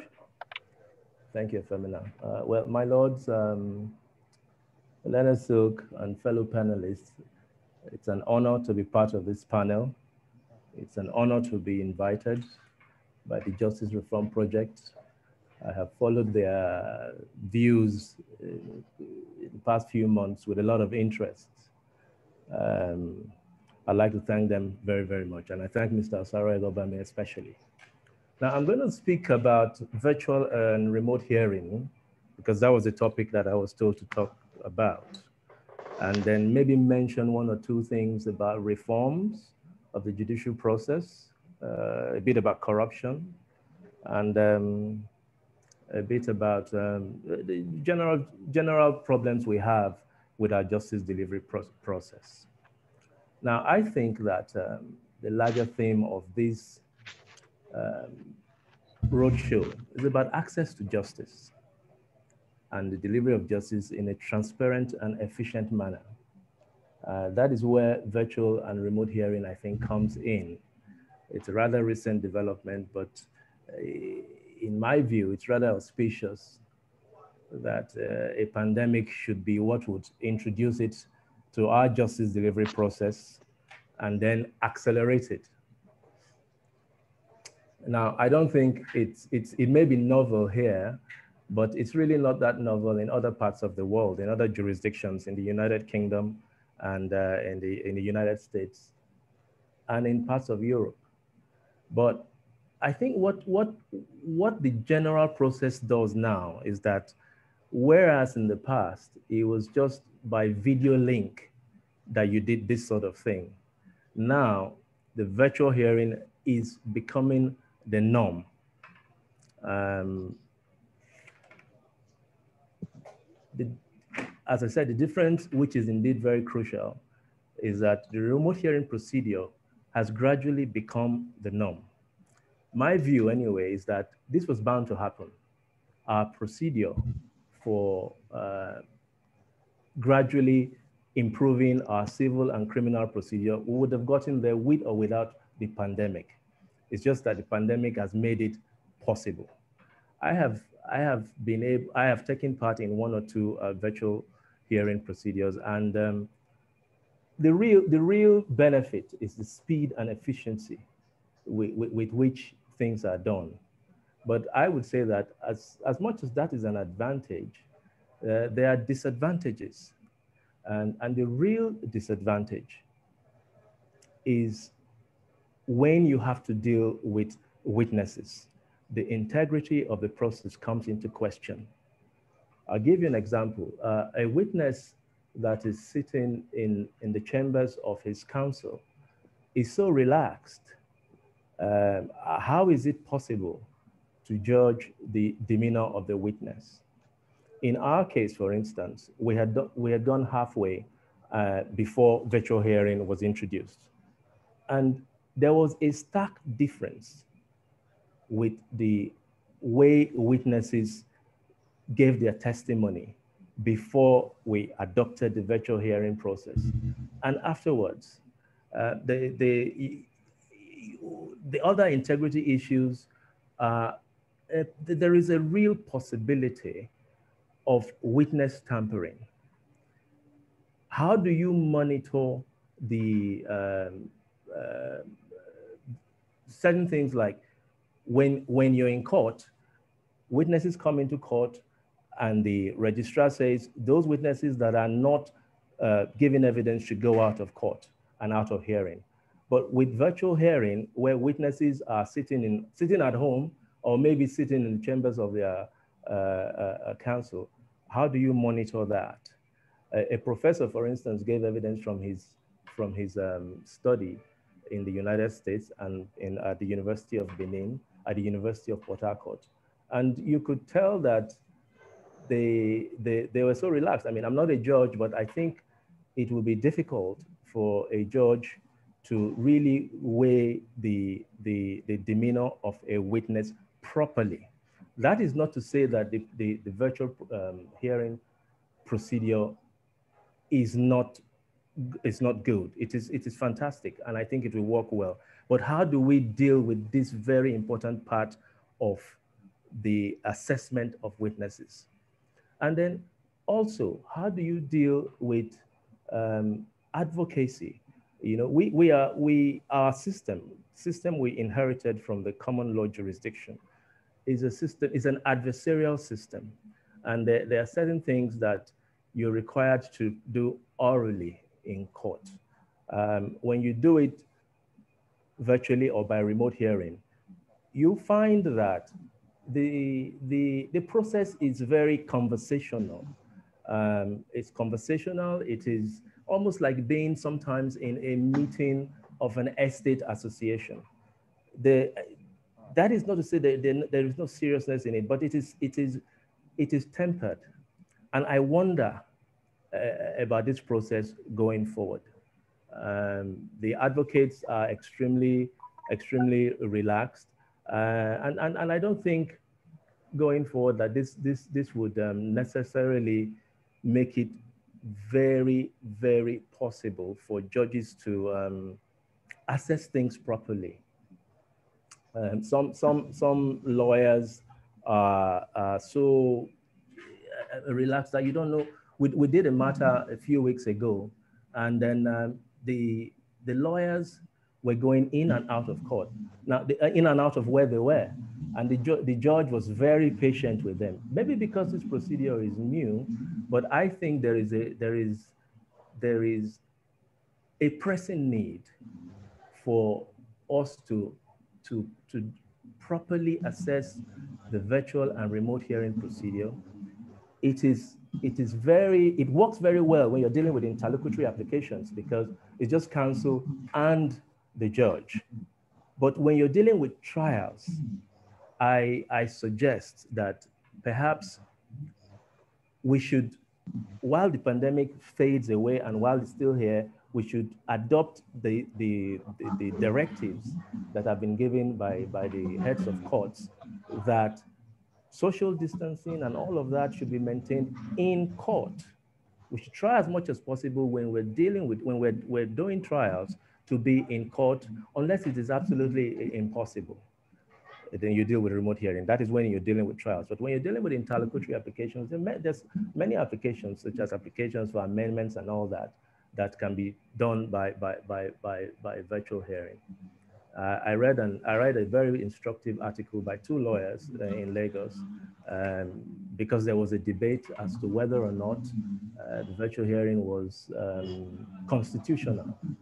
I think it's constitutional, but a lot depends on how, on how the judges have drafted their practice direction, directives, pr practice directions. Now, I read two, two practice directions, one by the FCT and one by the Federal High Court. Access to justice. The public must have access to justice. But in those directives, it is th that particular point is missing. Of course, lawyers are allowed, judges are allowed, and the, the, the parties are allowed to come to court. But the essence, the, the constitution provides that the general public should have access to courts. And there are Supreme Court decisions that have said the court should be open for the public to come in, whether or not you are part of the, the process. But those, those, those, that is, that is missing in the directives that were issued by the FCT High Court and the uh, Federal High Court. In Lagos State, I haven't seen that the practice directions, but it seems that the CJ of Lagos State actually sent a specific directive, which was pasted on their notice board that um, the public should be allowed access. I, I, I, don't think that conforms with the constitutional um, constitutional requirement. So, but, but generally going forward, I think it's something that we cannot do away with. It has come to stay. Um, how you deal with the technology, it can be epileptic. I mean, we had several uh, instances where we, the thing went on and off, off and on, but we dealt, we dealt with it. Um, I think it's a welcome, welcome um, innovation. Uh, and, and it, it, it, it's so far so good. So that is that with regard to virtual and remote hearing. Now, with regards to reform, uh, reform should be a constant and continuing part of the justice delivery process. we have law reform commissions. I, I'm not so sure what has happened to them, but they should, their, their, their remit is to continuously review the substantive and adjectival laws that we have, state law reform commissions and the federal law reform commission, but it seems that's dead. Uh, corruption, well, corruption is a national problem. I think it's a bit unfair to, to keep harping on about judicial know, corruption in the judiciary. It is corruption in the judicial process. The lawyers, the, uh, the there is, is it's a major problem. You can't. Plato said, "You can't say my hand is bad, but my body is good." So how we deal with it is how we we, we it's we have to address it holistically. I agree with Justice. Uh, I think Justice Akhihiero when he says that this is not just a, a judicial problem. It's, just, it's not just the judges, it's a national problem. And it's killing us. If we don't do anything about it, we, we're just not going to move forward with, with justice delivery. Now, um, infrastructure. Infrastructure is a problem. It's not enough to, to build courts, um, have computers, and have all this physical infrastructure. The personnel you must appoint the best and the brightest people to your appellate courts, to your high courts, all courts of superior, uh, courts of superior rec records. There's a book by Blum, uh, QC, and you know he analyzes the appointments of justices of the uh, House of Lords for over a hundred years, and um, the best and the brightest. All those justices the, the first class minds. Meritocracy should be, in my view, the order, the, the, the first, the first of the metrics. Now, tribalism, nepotism, hypocrisy is worse than graft. And that is really what the problem is in our nation. With regard to the judiciary, let's not lie about it. Where do you come from? With regard to appointments of senior advocates, so let us address those issues and not apply cosmetic um, uh, principles here and there. Take it head on and not be, not be shy to call a spade a spade. Thank you very much. All right, thank you so much, Janet Silk. Where time is fast spent, I'm going to jump to Mr. Bello very quickly. Mr. Andrew Bello is the principal partner at Law House Legal Services. So we'd like to hear from you very quickly your views, um, state of justice delivery, digitalization of courts and corruption. Thank you very much, Mr. Efemena. I don't know if you can hear me. I can hear you loud and clear. Thank you very much. Yes, good evening, my lords, learned Silk, and my fellow panelists. On the topic I've been given to speak on this evening, the personal experience on as it relates to justice delivery, corruption, and development. Now, I want us to just bring it down, bring it down. Don't, uh, the theories are good, but let's look at the practice on the ground here, what's happening on the ground. Now, the man on the street wants to know if he has equal access as the other man, like uh, the first uh, speaker this morning said, if Dangote is accessing the justice system today, will he get the same justice as the man my vulcanizer outside who does not have any name or who is not known will he get the same access to justice? I'll give you an example. Now, I filed a matter for a client. We're asking for, of course, we are the, the main suit, but we're asking for interlocutory injunction. We filed this matter, we asked for ex parte injunction and interlocutory injunction. We filed this matter and it took us about a week just to get a court date, a court, a court number. That's the assignment of the case. And after having gotten the court, the matter assigned to a court, we're asked to wait again that the judge will be the one that will fix the date. That will be another few days before we got a date. That's like 10 days just to get a matter assigned and get a date. Within the period we're waiting, uh, Mr. Sanusi Lamido Sanusi, the uh, immediate past emir of uh, Kano State, emir of Kano, filed an application to restrain the Nigerian police. That period they were harassing him uh, during this depose, uh, deposition. And within two days, he got his matter heard and uh, an order granted. Within two days, my client called me from Europe and said, ah, what's happening there? You told me that my matter has not been assigned. While, meanwhile, Sanusi who filed this matter just two days ago has gotten an order. It, it begs the question, do we have equal access to justice? Can the man on the street go to court being guaranteed that he will get the same right to justice as the other man? Or is it because that man is politically exposed, he will get justice and the man on the street has no right of access to the same justice? I'll leave that one and move down to uh, the issue of justice itself. Haven't gotten the matter assigned, the justice that is being sought after. Now, in 2015, Sanusi Lamido Sanusi went to court when after he was detained at the airport waiting room for four hours. He wasn't harassed, he wasn't assaulted, he wasn't brutalized. He was just kept in, a, in an airport waiting room. Maybe there's AC, even air conditioning in that waiting room for four hours. And he went to Federal High Court to challenge that his detention. And the court gave him 50 million naira award against the Department of State, Department of State Services, DSS. Now, after a few years after, or the same year, a Joe, one young boy, 15 years old, Joe Enamino in Benin City here, was arrested. Okay, he was arrested at Auchi, bundled with handcuffs, put inside a vehicle and brought to Benin City State CID when he got here, they handed him over to anti-cult unit of SARS, anti-cult unit of SARS here in Benin.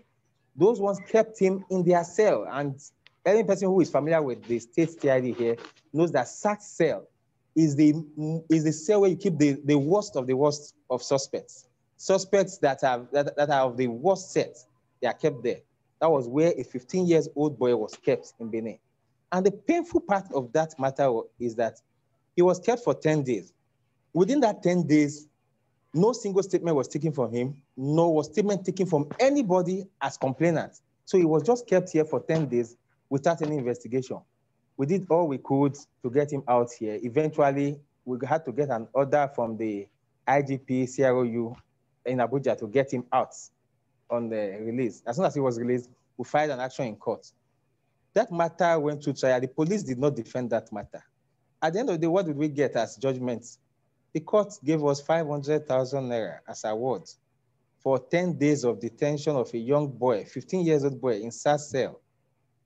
Meanwhile, Sanusi Lamido Sanusi got 50 million naira for four hours of detention in an airport waiting room. I don't know if one can say this justice is the same.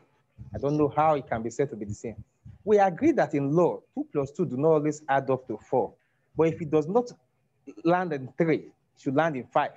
But when you add two and two and you get to 22 instead of four or three or five, then the question becomes that one is not justice. People begins to look at, is that justice? Can you say two, you added two and two and you didn't get four, you didn't get three, you didn't get five, you now landed in 22. I'll come back here now. I'll take the issue of how did we get to that stage? How did we get to a stage where politicians get separate justice from what the ordinary man on the street gets?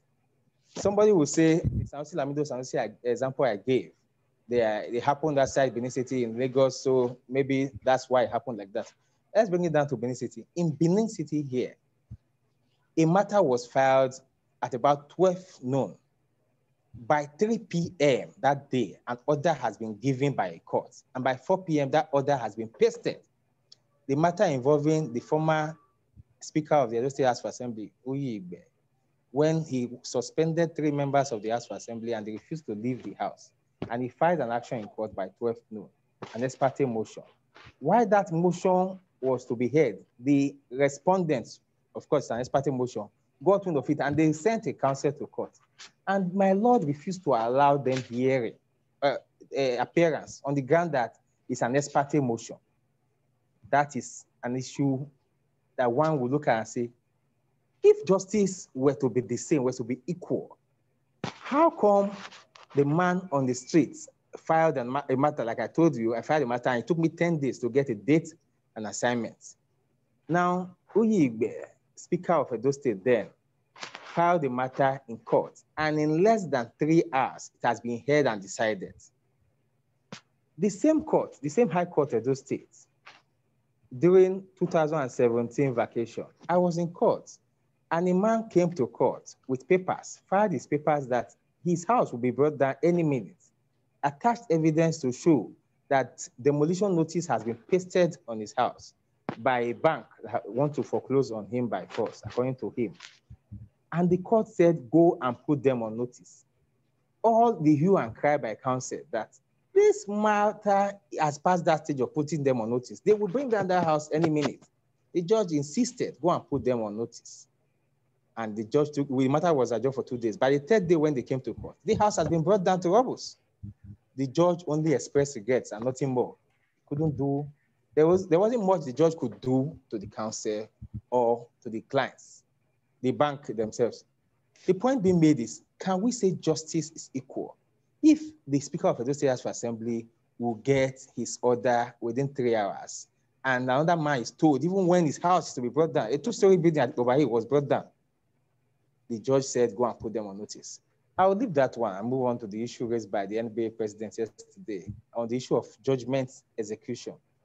Now, if you have court system, justice system, that is this torturous as it is in Nigeria, takes a lot to get justice here. Haven't gotten that justice, you still have to go through that tortuous process of executing the judgment, of enforcing judgment. Can one say there's justice here? Can one say there's, we can access justice here? It becomes a serious issue.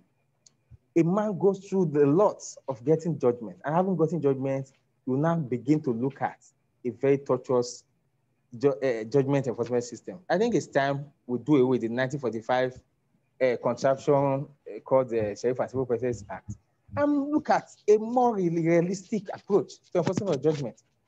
We can no longer shy away from it. The Sheriff and Civil Process Act have served these days. It has outlived these days. No, it has no place in modern day jurisprudence. We should look for what will work for today. How do we ensure that judgments are enforced almost automatically, almost automatically, unless, unless where necessary, almost automatically. And again, we cannot talk about justice delivery, development, and corruption without looking at a system where an attorney general federation will come out openly and say that judgment was wrongly obtained and as such we are considering it. By we are considering it means we will not enforce it. It doesn't, it doesn't align because a person who is watching from an from an independent position will say what it means is the just the justice system in Nigeria is subject to what the politicians say. That's what it means in very clear terms, in its simplest form. I'll leave that one and move on. Now, coming down to the issue of judges' appointment. Now, judges' appointment has been a very a vexed issue that we have played on for too long. We have played on it for too long. Today we are here with between yesterday and today we've discussed a lot about how to improve on judiciary uh, automation of the justice system, speedy delivery of justice. Now, how many of these judges, how many of these judges we have presently fit into those criteria that we have drawn up in the last two, uh, between yesterday and now? And the ones we are appointing now, how many of them fit into that same criteria? Because we are doing appointment as we speak. I believe it's also time the heads of courts begin to look at feedback mechanism, you know, create deliberate feedback mechanism where they get notice of what's happening in the courts. What are the judges doing in their court? What are the magistrates doing in their court? Because we cannot continue to wait for petitions to be written. We agree that a few persons write petition, but how many? In many cases, people go completely, they don't write petition. I have written petitions, I have, and I have also seen cases where I waived the, my right to petitions. There was a time I wrote a petition against the magistrate that refused to issue us with record of proceedings. And immediately, the then chief judge immediately, within 24 hours, ordered the magistrate to give us the record of proceedings. And we got the record of proceedings. But a few, uh, last year here, we wrote for, we wrote against the magistrate who refused to give us record of proceedings, refused to give us the ruling. After three months after the ruling was delivered, the ruling, we couldn't get a copy because we appealed against it we wrote a petition against those uh, decisions, and the CRO, writing back to us on behalf of the chief judge, told us that those issues were not important. That's what the CRO told us. haven't been so told. Would we tomorrow write another petition? No. It has now become clear that it is normal. What they have, what that magistrate did in that case is wrong. It's okay. I'll give you another example. A colleague of mine, the same office here, did another petition against the magistrate who went completely off procedure. The magistrate took a witness halfway, stopped that witness, brought in another, called another witness, took that witness and went back to continue from where she stopped with the previous witness. And we challenged it. And the magistrate said that's her court and she decide how she want to proceed. A petition was written against the magistrate to the same uh, CRO. The CRO replying on behalf of the chief judge said it's okay. So these are things that chief judges, head or heads of courts should look into. Feedback mechanism. Who are these magistrates that are giving us bad names? How do we, what can we do to correct some of these errors? So that before magistrates are elevated to judges, and judges themselves who also participate in some of these erroneous practices, how do we correct them? How do we end these things before we get to that stage? Thank you very much. All right, thank you so much, Mr. Bello. This has been very interesting to listen to. Um, Justice Zannah's presentation was enlightening and fascinating. Yours was annoying and infuriating. But thank you for sharing. Uh, we don't have so thank much time. I'm going to jump to our stakeholders. We have um, user and civil society groups. We have two, they're also our partner organizations here at JRP. We have Mr. Muda Yusuf. Mr. Muda Yusuf is the Director General of the Lagos Chamber of Commerce and Industry. Um, as the name implies, they deal with businesses who are, of course, the major users of um, the justice, one of majors of the justice, justice system. We also have Mr. Kolawole Oluwadare, who is the Deputy Director of SERAP. Many of us know SERAP. SERAP is in court literally every day and I had to fight to bring him here. So I would uh, we'll listen to Mr. Muda Yusuf first. He has 10 minutes, and then Mr. Oluwadare next from SERAP, 10 minutes. Welcome, Mr. Muda Yusuf. Thank you so much for joining us. Uh, th th thank you very much. Uh, good afternoon, my lords and uh, our very distinguished uh, panelists. Uh, first, let me thank the Justice Reform Project for this opportunity. Uh, the justice uh, delivery system is one of the uh, major factors in the investment environment. And if there's any factor, uh, apart from infrastructure issues, that has been affecting investment, I think it is the justice delivery system. Unfortunately, there has not been too much discussion around it. Investors struggle individually in their various corners to see how they sort themselves out. Uh, they suffer a lot of frustration. And the justice delivery system has greatly affected the confidence of investors, be it domestic and more importantly, even foreign investors. It has affected the capacity of the economy to attract private capital that affected the quality of investors that come into this economy. Because there are some investors that thrive in areas or in regimes or in environments where the justice delivery system don't work. And they flourish, they make a lot of money, while those who are struggling to be compliant, who are ethical, are suffer greatly, suffer a lot of frustration. And unfortunately, as a result of the quality of the justice delivery system, we have inadvertently built a society or an economy that penalizes investors that are ethical, that are compliant, and that are doing the right things. Whereas those who are not compliant, who cut corners, are smiling to the banks. So it's a very unfortunate situation that the reward system in the Nigerian economy as far as investment is concerned is uh, stacked against those who are doing the right things. And this happens a lot with our, with our institutions, our regulators, and all the key uh, agencies that investors relate with. Uh, well, just as previous speakers have said, the issue of uh, the uh, uh, time frame for justice delivery is a major issue. If you are running a business and there is an issue of infraction that you need to quickly sort out, the Nigerian court system is not the place to go. Certainly because you can be there, just as has been said, you can be there for under 10 years. So what happens to the business between now and the next 10 years when you are in court, trying to sort out a major uh, issue of maybe uh, contractual obligations and things like that. So the, the time frame for justice delivery is, is a terrible thing. I was uh, gladdened and excited by what was said by the justice from Edo State that there's a fast track channel for commercial cases and so on. I think if you can entrench something like that in the whole system, I think it will help the investment environment because we need investment to grow this economy. We need investment to, to, to, create jobs. We need investment to reduce unemployment. We need investment to reduce poverty.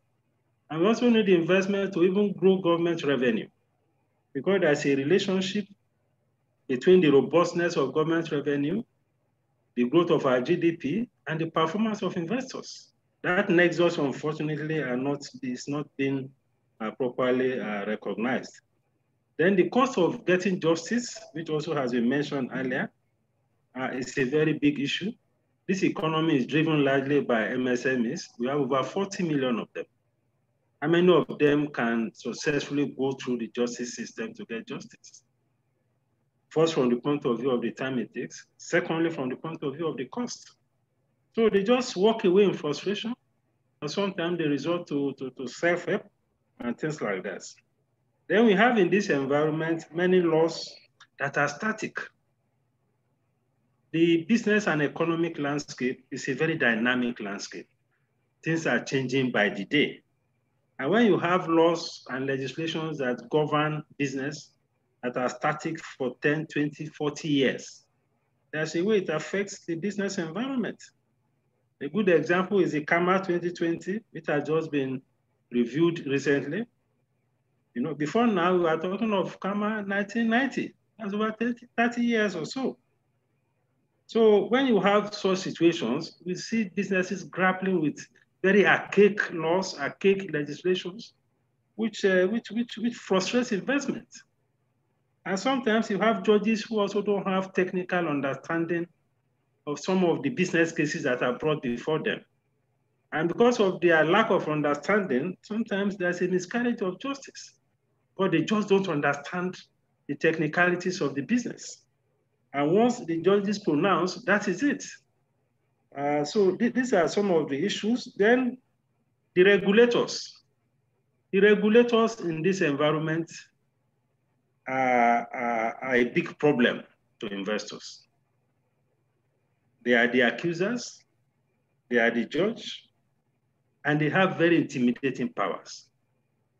So that it is very difficult for investors to get justice when you have an issue with the regulator. You know, they, they are practically cannot be challenged because they have all the powers and sometimes they can be very oppressive. And if you want to seek a redress, the cost of redress is so high, the time it will take is so much, the cost is so much that by the time you finish seeking the redress, the business will have gone down. So the relationship between the regulators and the regulatory environment and, and businesses is, is such a very, it's a worrisome one. But some analysts have described this environment that the biggest risk that you face as an investor is regulatory risk. You can invest billions of naira based on an extant regulation, extant laws. And after investing the money, a regulator can just come the following year or a few months after and change the regulation and makes not complete nonsense of your business. So who, what do you do? So we have an environment where the investors don't even have what they can call their own rights as an investor. There are instances of people who borrowed money from the central bank intervention funds that runs into billions of naira. The same CBN came with a regulation banning some of their raw materials. That was the end of those businesses. And these are things people have taken, they have placed collateral, they have done all sorts of things. Where will they go? Some of them, many of them are suffering in frustration as I speak to you.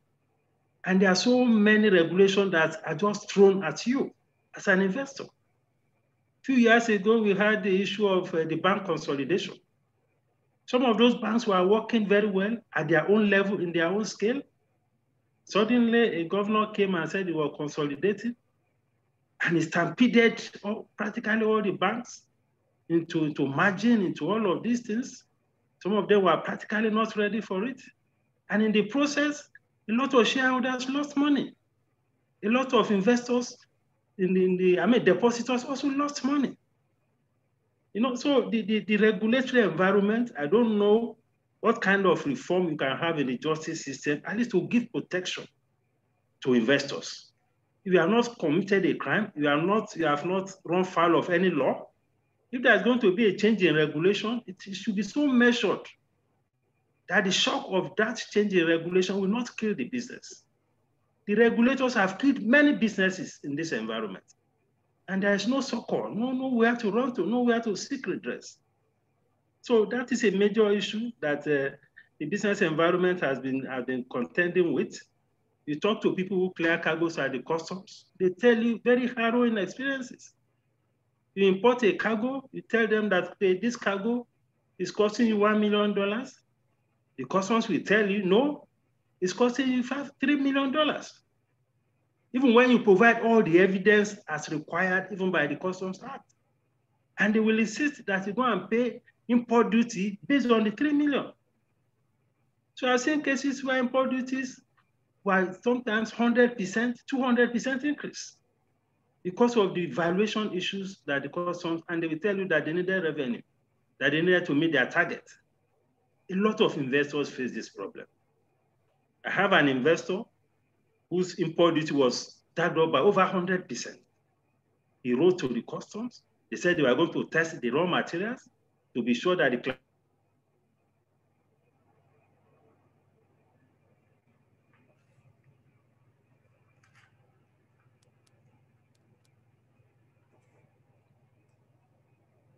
on, that sort of pressure. I hope you are hearing me. Yes, we can hear you now. Aha when you are put under such a pressure, sometimes you are forced to compromise. Sometimes you are, you are forced to bribe and to get out of the system because you are a businessman. What are you going to tell the, your shareholders? That you are busy fighting corruption, then the business is collapsing? You know, so these are these are major issues that uh, that that that businesses face. Then we have issues with import bans. We have issues with foreign exchange uh, exclusion you are running a business, and suddenly the raw materials that you are using or some of your inputs, the central bank say you cannot bring it in.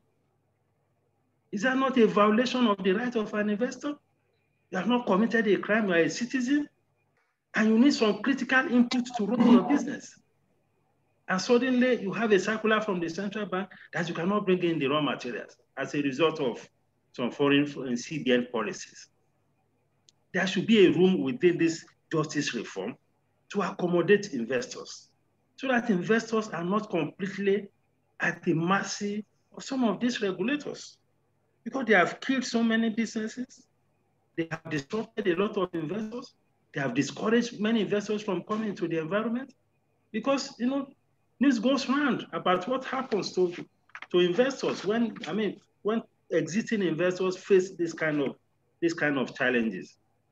So to round up, my submission is that we need to look at how we can get the justice system to support investment.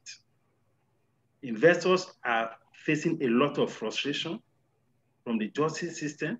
A lot of investors have lost money, not because they are not good entrepreneurs, but because their businesses have been disrupted and dislocated by, by policies of government. You know, without notice, without any room for you to adjust. And if you go to the court system, it's so slow that before you go through the entire gamut, your business is dead. As I'm talking to you, when we had, when some of our members had an issue with the Lottery Commission, we went to court.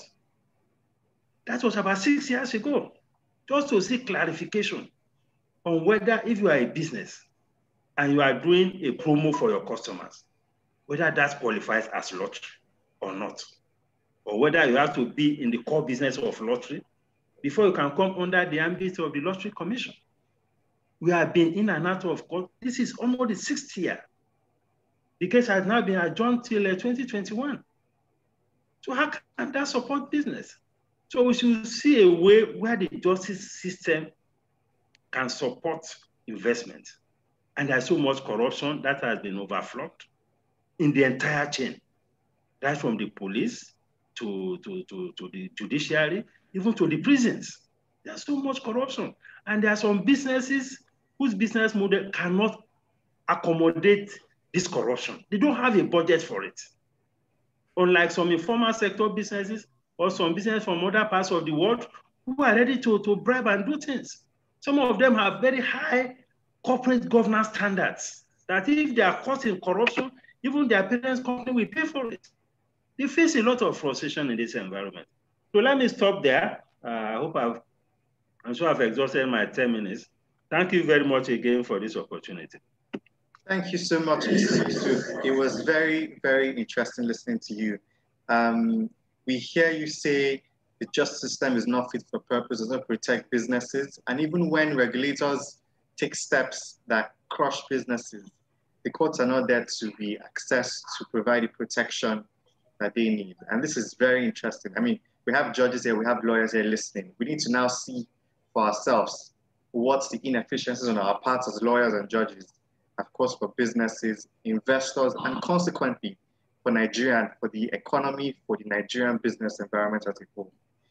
Um, without too much to add, I'm going to just call on Mr. Oluwadare, who is the Deputy Director of SERAP, to share his experience with the judiciary and the justice sector. Mr. Oluwadare. Um, thank you very much, Bruno. Um, I'm happy to be here and I'm delighted to be here. Um, uh, thank you, um, my lords, uh, and my colleagues on this call. Um, I, have been asked to uh, speak on uh, what we'll see as uh, case timelines for people, for stakeholders in the judiciary. And I would think that SERAP, with what we do, um, can, can be said to have a, a larger share of stakeholders in the, being that we do a lot of uh, public interest litigations. And that necessarily has a lot of import on the, the, the, policy of government and it affects Nigerians more than any kind of commercial or, uh, even criminal or civil litigation. And looking at the case timelines that we have um, in the judiciary, I would say that with the plethora of, of, um, of statutes that in themselves create timelines and make dictates for um, expeditious areas, uh, vis-a-vis the rule of the rules of court and what we see in practice, it's, there's a huge gap. And so we have the Electoral Act, which I think is the most adhered to, and so the, the cases are finished within that time. But what about cases that have far much, far much reaching policy implications, like the Freedom of Information Act, which provides clearly that it is to be had and determined expeditiously. Uh, we, have tons of cases on Freedom of Information Act, that, which is yet to be decided. And looking at what we do, it, it, it, would appear that, and, and this is my experience with public litigation, that the judges seem to be unaware of, of the um, case management as to timelines, looking at the importance of the questions that have been brought before them. I, can give instances on and on. We, have filed a case this year on the fuel hike by the federal government. It's yet to, it's yet to be assigned. And uh, that's going into months. We have filed a case against the National Assembly to determine some of the actions of the National Assembly. Uh, for instance, buying a car worth 400 million for its members, 37 billion naira to renovate the National Assembly. These are timely questions that require urgent intervention. Even one way or the other, those cases are yet to be determined. And so it goes on and on, and then that room without that timeline where the users of court, whether being lawyers or litigants, can say with exactitude when they will get some form of justice. Even if it's against them, it creates a problem for everyone. And that cannot be to serve the interest of even the judiciary and the citizens themselves. And now to speak about the court infrastructure. Insofar as what we lawyers do is technical in nature and is unknown uh, to those who are non-lawyers, to laymen, it creates another set of problem when the infrastructure is not even friendly uh, to the to court users, even to lawyers themselves. So the question is, how many courtrooms in Nigeria have access, even with, with pre-COVID-19, uh, in real-time court hearings, have uh, court recorders? I think Lagos State has the best in that, and not all of them are functional uh, as before the COVID-19. So, and then that brings up another issue which I've always uh, found very troubling for me about court records. I've always found that this thing we say in court about that the court pleases, it's really true and it's literal to me. When you apply for record proceedings, you find that the, court, the judge has written what he wants, he or she wants to write. And then the court record is really as the court pleases. Because the court record, being written in longhand, leaves discretion for whoever is writing to write what he or she likes. But with the use of infrastructure that records and the stenographer, it becomes easy to have a literal interpretation of what is said, and then the, the, turnover of getting your appeal written and the records in time is something else. Uh, it, it, improves that uh, a lot too. And then I'll speak uh, very quickly on administrative case management. And that is from what we've seen with, uh, with the e-filing and what I've seen demonstrated there before now speaks mostly about the registry part. What about the, the administrative um, arrangement of court sittings, which I believe are the rules of court, uh, the judges have a lot of control, but we have seen less done in that regard. What about times of sittings? Those are part of that administrative uh, powers that the court has.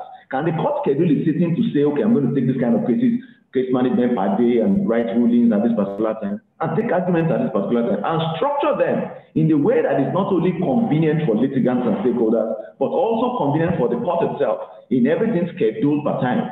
And that is what I'm, what about discipline of staff? Who disciplines the registrar um, that um, has been complained about? Is it the judge or is it referred to the chief registrar? And what control does the judge have over that? And we've seen instances where um, uh, lawyers have even complained to the judge in writing about uh, the acts of the registrar and nothing has been done about that. And then I'd like to speak about the attitude of the court, uh, which I think it may not be uh, in the best interest of the stakeholder, stakeholders. Again, this is within the context of not lawyers, but laymen who do, who do not really understand what we are doing in court. And so it becomes harder for even the average lawyer to explain to his client what is the stare decisis, what is that case law on it as it stands. Because I've often asked myself the question, who makes the rules? We have uh, individual judges even deciding what is precedent and what is going to be followed, even when there are clear lines of, uh, of decisions of the Supreme Court, without any attempt at distinguishing the cases. And that itself creates another kind of problem. And for what we do at SERAP, public interest litigation, one would think that there should be clear lines of petitions that establishes what is and that when there are novel areas where the questions of law are brought before the court, that should be determined speedily. In the absence of technicality, that the lines become clear, that at any time when the lines that blur the lines between human rights breach and what is to be is crossed, the courts are, are, are, are frank and quick uh, to make that argument. But we have seen less of that. And that's why we've seen a lot of our cases. And, and, and this is personal to what we do at SERAP. So we have people take us on to ask us, uh, SERAP, we filed so much cases. How much, how many have you won? What is happening to the cases? And we have to give updates periodically. With most cases dragging so slow that we can never even have a clear position on what is the position of law on these very critical issues of socio-economic rights of Nigerians. Uh, and uh, lastly, I'd like to touch on what I would like to call ethical training for, because in, in, in the administration of justice, it's basically about lawyers. Uh, my lords are lawyers before they were members of the bar before they went to the bench. And so when we talk about ethics more often than not, what we have seen uh, from the bench is the kind of talking down to the bar, forgetting that as part of the bar, if there, if there is no ethics on the bar, naturally then it, it, it, flows up that way too. And I think that is something that should be attended to, not necessarily at the level of the law school, but possibly as part of some kind. It, I wouldn't know how to provide the best solution for that. But it's something that should be looked at deliberately and strategically to, in, to in, uh, increase the quality, the ethical quality of the bar. And naturally, that will transfer uh, uh, to the bench. Thank you very much, Dominic. Thank you so much, Mr. Oluwadare. Thank you so, so much. In fact, you left us with a couple minutes to spare. Um, would I say now, fortunately, unfortunately, we don't have any questions. So um, the way it's looking, it looks like we may just proceed to close. But then I would just like to, um, there was somebody who mentioned something about manpower. Honorable Justice Akhihiero mentioned the need for more judges. But then a question comes to mind, do we necessarily need more judges or do judges need more support staff? Is it thought I've myself? The way we have lawyers and we have lawyers who have junior lawyers in chambers, would it help the judges if they have younger, perhaps practitioners, support them with the work they do? Maybe a team of three, five people.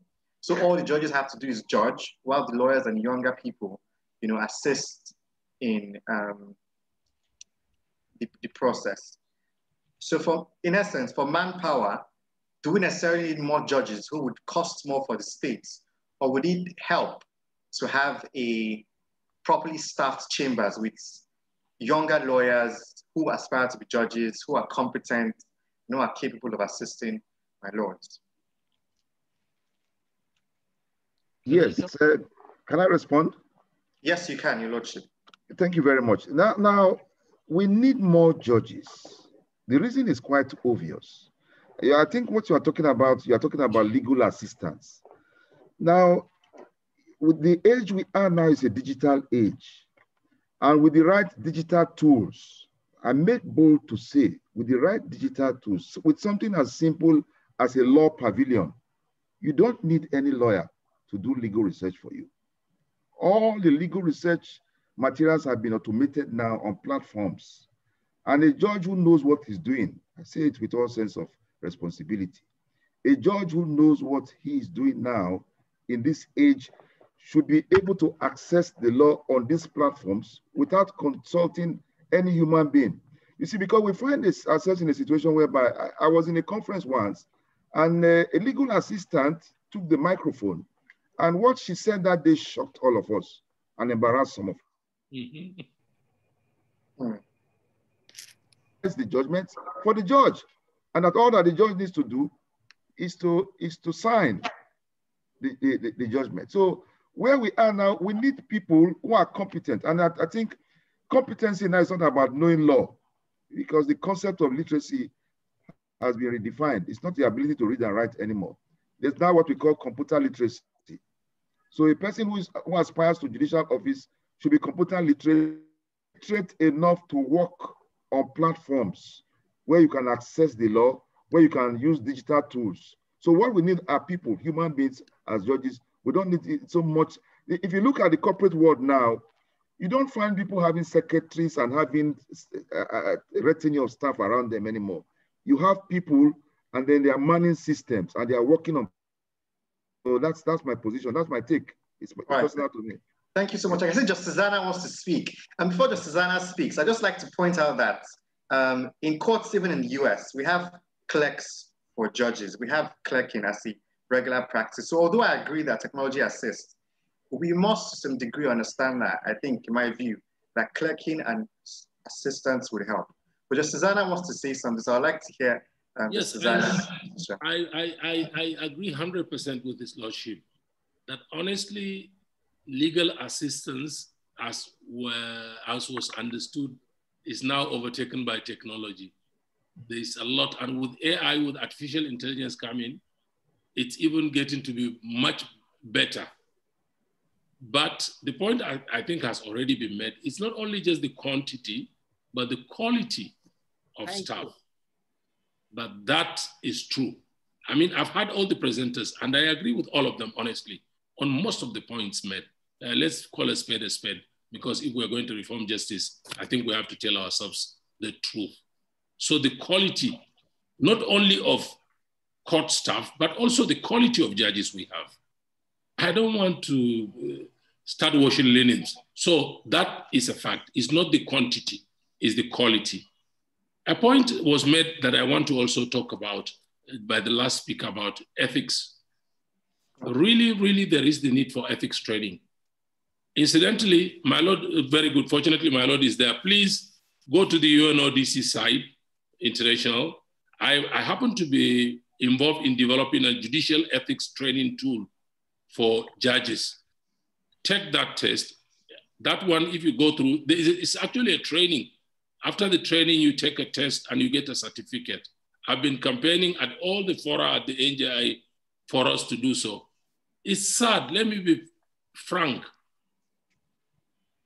I, uh, I, I, happen to be a member of the uh, UN Judicial Integrity, Global Judicial Integrity Network. Nowadays, I'm a little bit ashamed even when I see the level of participation from Nigeria. a lot was expected of us. I took part in training, tra uh, developing this training module, but when it, it, became time for them to see, and it, it's seen, nobody sees what you do. You can save it, go back, come.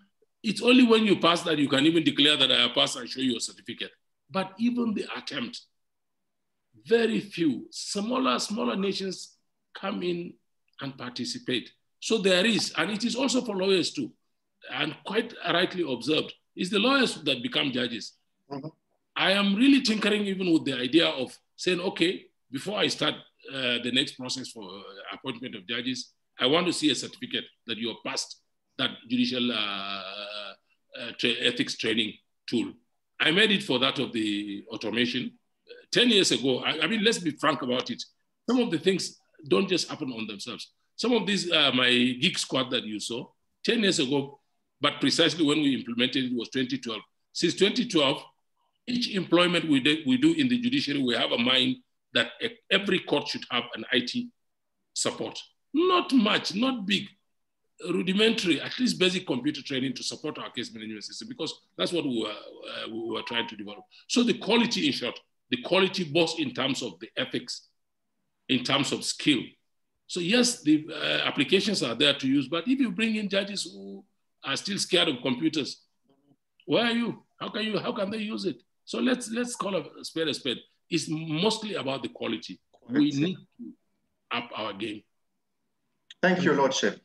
Uh, I'm just going to move to Mr. Ade Okeaya-Inneh learned yes. Silk. I was yes, going to ask you the ethics question because I think it's yeah. very important. Um, we say at JRP that um, being silk is a rank of leadership in competence and character. Yeah. And I just want to hear your views on judicial ethics. Just to echo what my Lord Justice Zannah said, the JRP is actually aware of this ethics training and it's something we intend to move around courts and we hope to push for judges to, um, to take this and we hope to, to work with this. So let's see, we'd like to hear your views on what we can do about ethics at the bar. We see lawyers many times bend over for clients. So how do we, how do we restore the pride of the Nigerian bar and bench? What is your take? Well, uh, I think my Lord Justice Zannah has said it all. You, uh, you see, what, what I think has happened in our country is that over a period of time, maybe 25 to 30 years, our values have, have, um, have been warped. They have changed. They are not good values. We must understand that you know, there is an objective type of values in, in, in, in, in the world. And we've moved that aside. And we have what I would call subjective values of materialism, which has attacked our culture and attacked our entire fabric, uh, uh, the entire fabric of our nation. And this is reflected in, in, in all professions. I mean, we're being hard on ourselves. Uh, we're talking about judges, we're talking about lawyers. Um, in the UK, you see, what, what, what helps the bar and the bench is a system, a system that is entrenched uh, where you go to the Inns of Court. Mr. Eghobamien is very, very aware of this, and I, I suspect Mrs. Uh, uh, Mrs. Adekoya as well. The Inns of Court, you learn the ethics of the profession, and it stays with you for life. It is the it, it's it's a convention. You the the the sanctions. It, the sanctions are not necessarily written anywhere, but it becomes part and parcel of your culture. What do we do about that in Nigeria? You know, um, maybe you can't get it from the law school because the law school is just a year. So there has to be some sort of institutional way of checking it. I mean, just my Lord Justice Zannah made a very powerful point now when he said, if I'm going to appoint judges, I want you to show me a certificate, a certificate of competence, a certificate of, of, um, of you know, ethical, ethical uh, competence. The bar as well. There must be a continuing way, a continuing way of, of judging the ethics of lawyers. And, and we don't have, we don't have a, a, a, um, a proper one now. You have the bar, the legal practitioners uh, privileges committee, and then the disciplinary committee. But that is also sometimes politicized. We have to be frank. Um, growing a society is about obligations. We are not we are not honoring obligations, obligations of values of culture. So that, that, that, that, that, that, that that's my take. Thank you so much, learned Silk. Um, we have no further questions. I will now call on the Chairman Governing Board Justice Reform Project, Mrs. Funke Adekoya Smith of Nigeria, to give her closing remarks and make any comments you intend. Um, thank you very much, uh, for moderating this session. Um, I thank my lords who have graciously given up their time this afternoon. I thank the other panelists who have made it clear what the justice system encompasses and the effect on the justice system where it is not performing to standard. I listened especially to Mr. Muda Yusuf speaking about uh, fast track courts. We have fast track courts in Lagos, they're not working. I, have, I actually suspect they've actually been abandoned. I also listened to SERAP speaking of the importance of challenging the system. It's not a question of how many cases one wins, as he correctly said. It's a question of constantly keeping the judicial system aware of their obligations to the society. In this context, I, I listened to both sides of the argument in respect of whether law clerks or legal assistants can support the judiciary and if taken on board can be a factor in terms of judicial sector reform. I'm one of those who supports the use by judges of legal assistance. I think the problem has come from the use to which judicial assistants are put. I think that if judicial assistants actually spend their time on Law Pavilion, bringing out the cases and conducting a précis of the cases that counsel have cited in their respective addresses and doing a comparative analysis. I think the time of my learned judges is better spent in thinking rather than being on the internet and doing the Google and the research themselves. I think that we would have a greater development of the law when precedent is not merely followed, but precedent is distinguished and the law is developed because the law should be a living thing. One of my personal frustrations is reading a judgment that refers to an authority. And then you go to that authority, to the page that is cited, and discover that in fact, this, the second case is a cut and paste of what the first case merely said. And so there has been no development in the law over the years. I think, as I said, perhaps the use of judicial assistants has not been properly, they're not there to write the judgments. And I'm aware of some judicial assistants who have actually complained that some judges use them to write the judgments. They say, okay, go and read this, go and read that, and give me a draft. And that's not what they're supposed to do. They're supposed to actually pluck out those authorities that counsel on both sides have cited. And tell my lords, at, at this page, that is not exactly what the judgment said. I'm one of those who say, if you want a judge to read an authority, please cite it and quote from, the, from that portion. And I've had instances where I've gone back to court to say, my lord, the authority that my learned friend has cited, he did not cite correctly. The missing words in between actually change the meaning. And so I think we need our judges to spend their time in thinking of the issues that are brought before them. A matter went to the court, to the Supreme Court in Pennsylvania yesterday. The decision came out yesterday because of the elections. And that is the judicial system that the JRP would like to see in Nigeria. A system that works and that works for everybody, not just for the emirs of this world, but for the business people who are being harassed by regulatory oversight and excessive changes in regulatory legislation. So with that, I'd just like to say thank you very much to all the panelists. Not only have you contributed robustly to the discussion, you have given the JRP more food for thought. We are actually engaging with UNODC in terms of ethics for lawyers because they have a course which we're trying to push for the law school that students in the law school should take that online ethics course as part of their law school training. I think that ethics is important.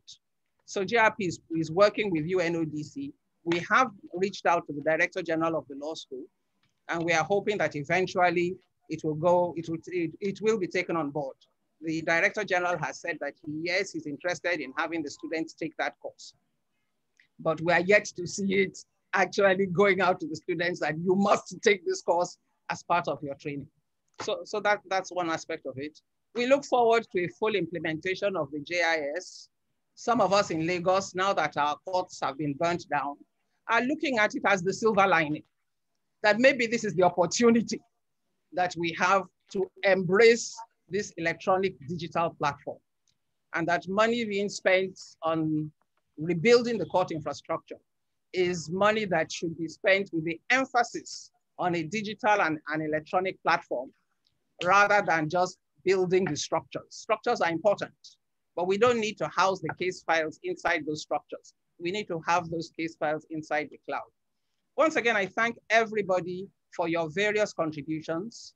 On behalf of the JRP, it has given us a lot to think about. And I can assure you that we will take on board everything that has been said from the bench, from the bar, and from civil society. And as this roadshow moves on to the next location, we will have more to engage with, and we will keep you all informed of where the progress is. We look forward to your continued support as we try to ensure that our justice sector in Nigeria is fit for purpose. Thank you very, very much. Thank you so much, Mr. Adekoya. Now we're going to bring this to a close. We'll just thank our partners, the UNODC, Integrity Organization Limited. Uh, we thank SERAP for coming on board. We thank Lagos Chamber of Commerce and Industry for coming on board, all our panelists and everybody who participated. This is the end. We see you next time, another state, another geopolitical zone. Goodbye. Till then. Thank you.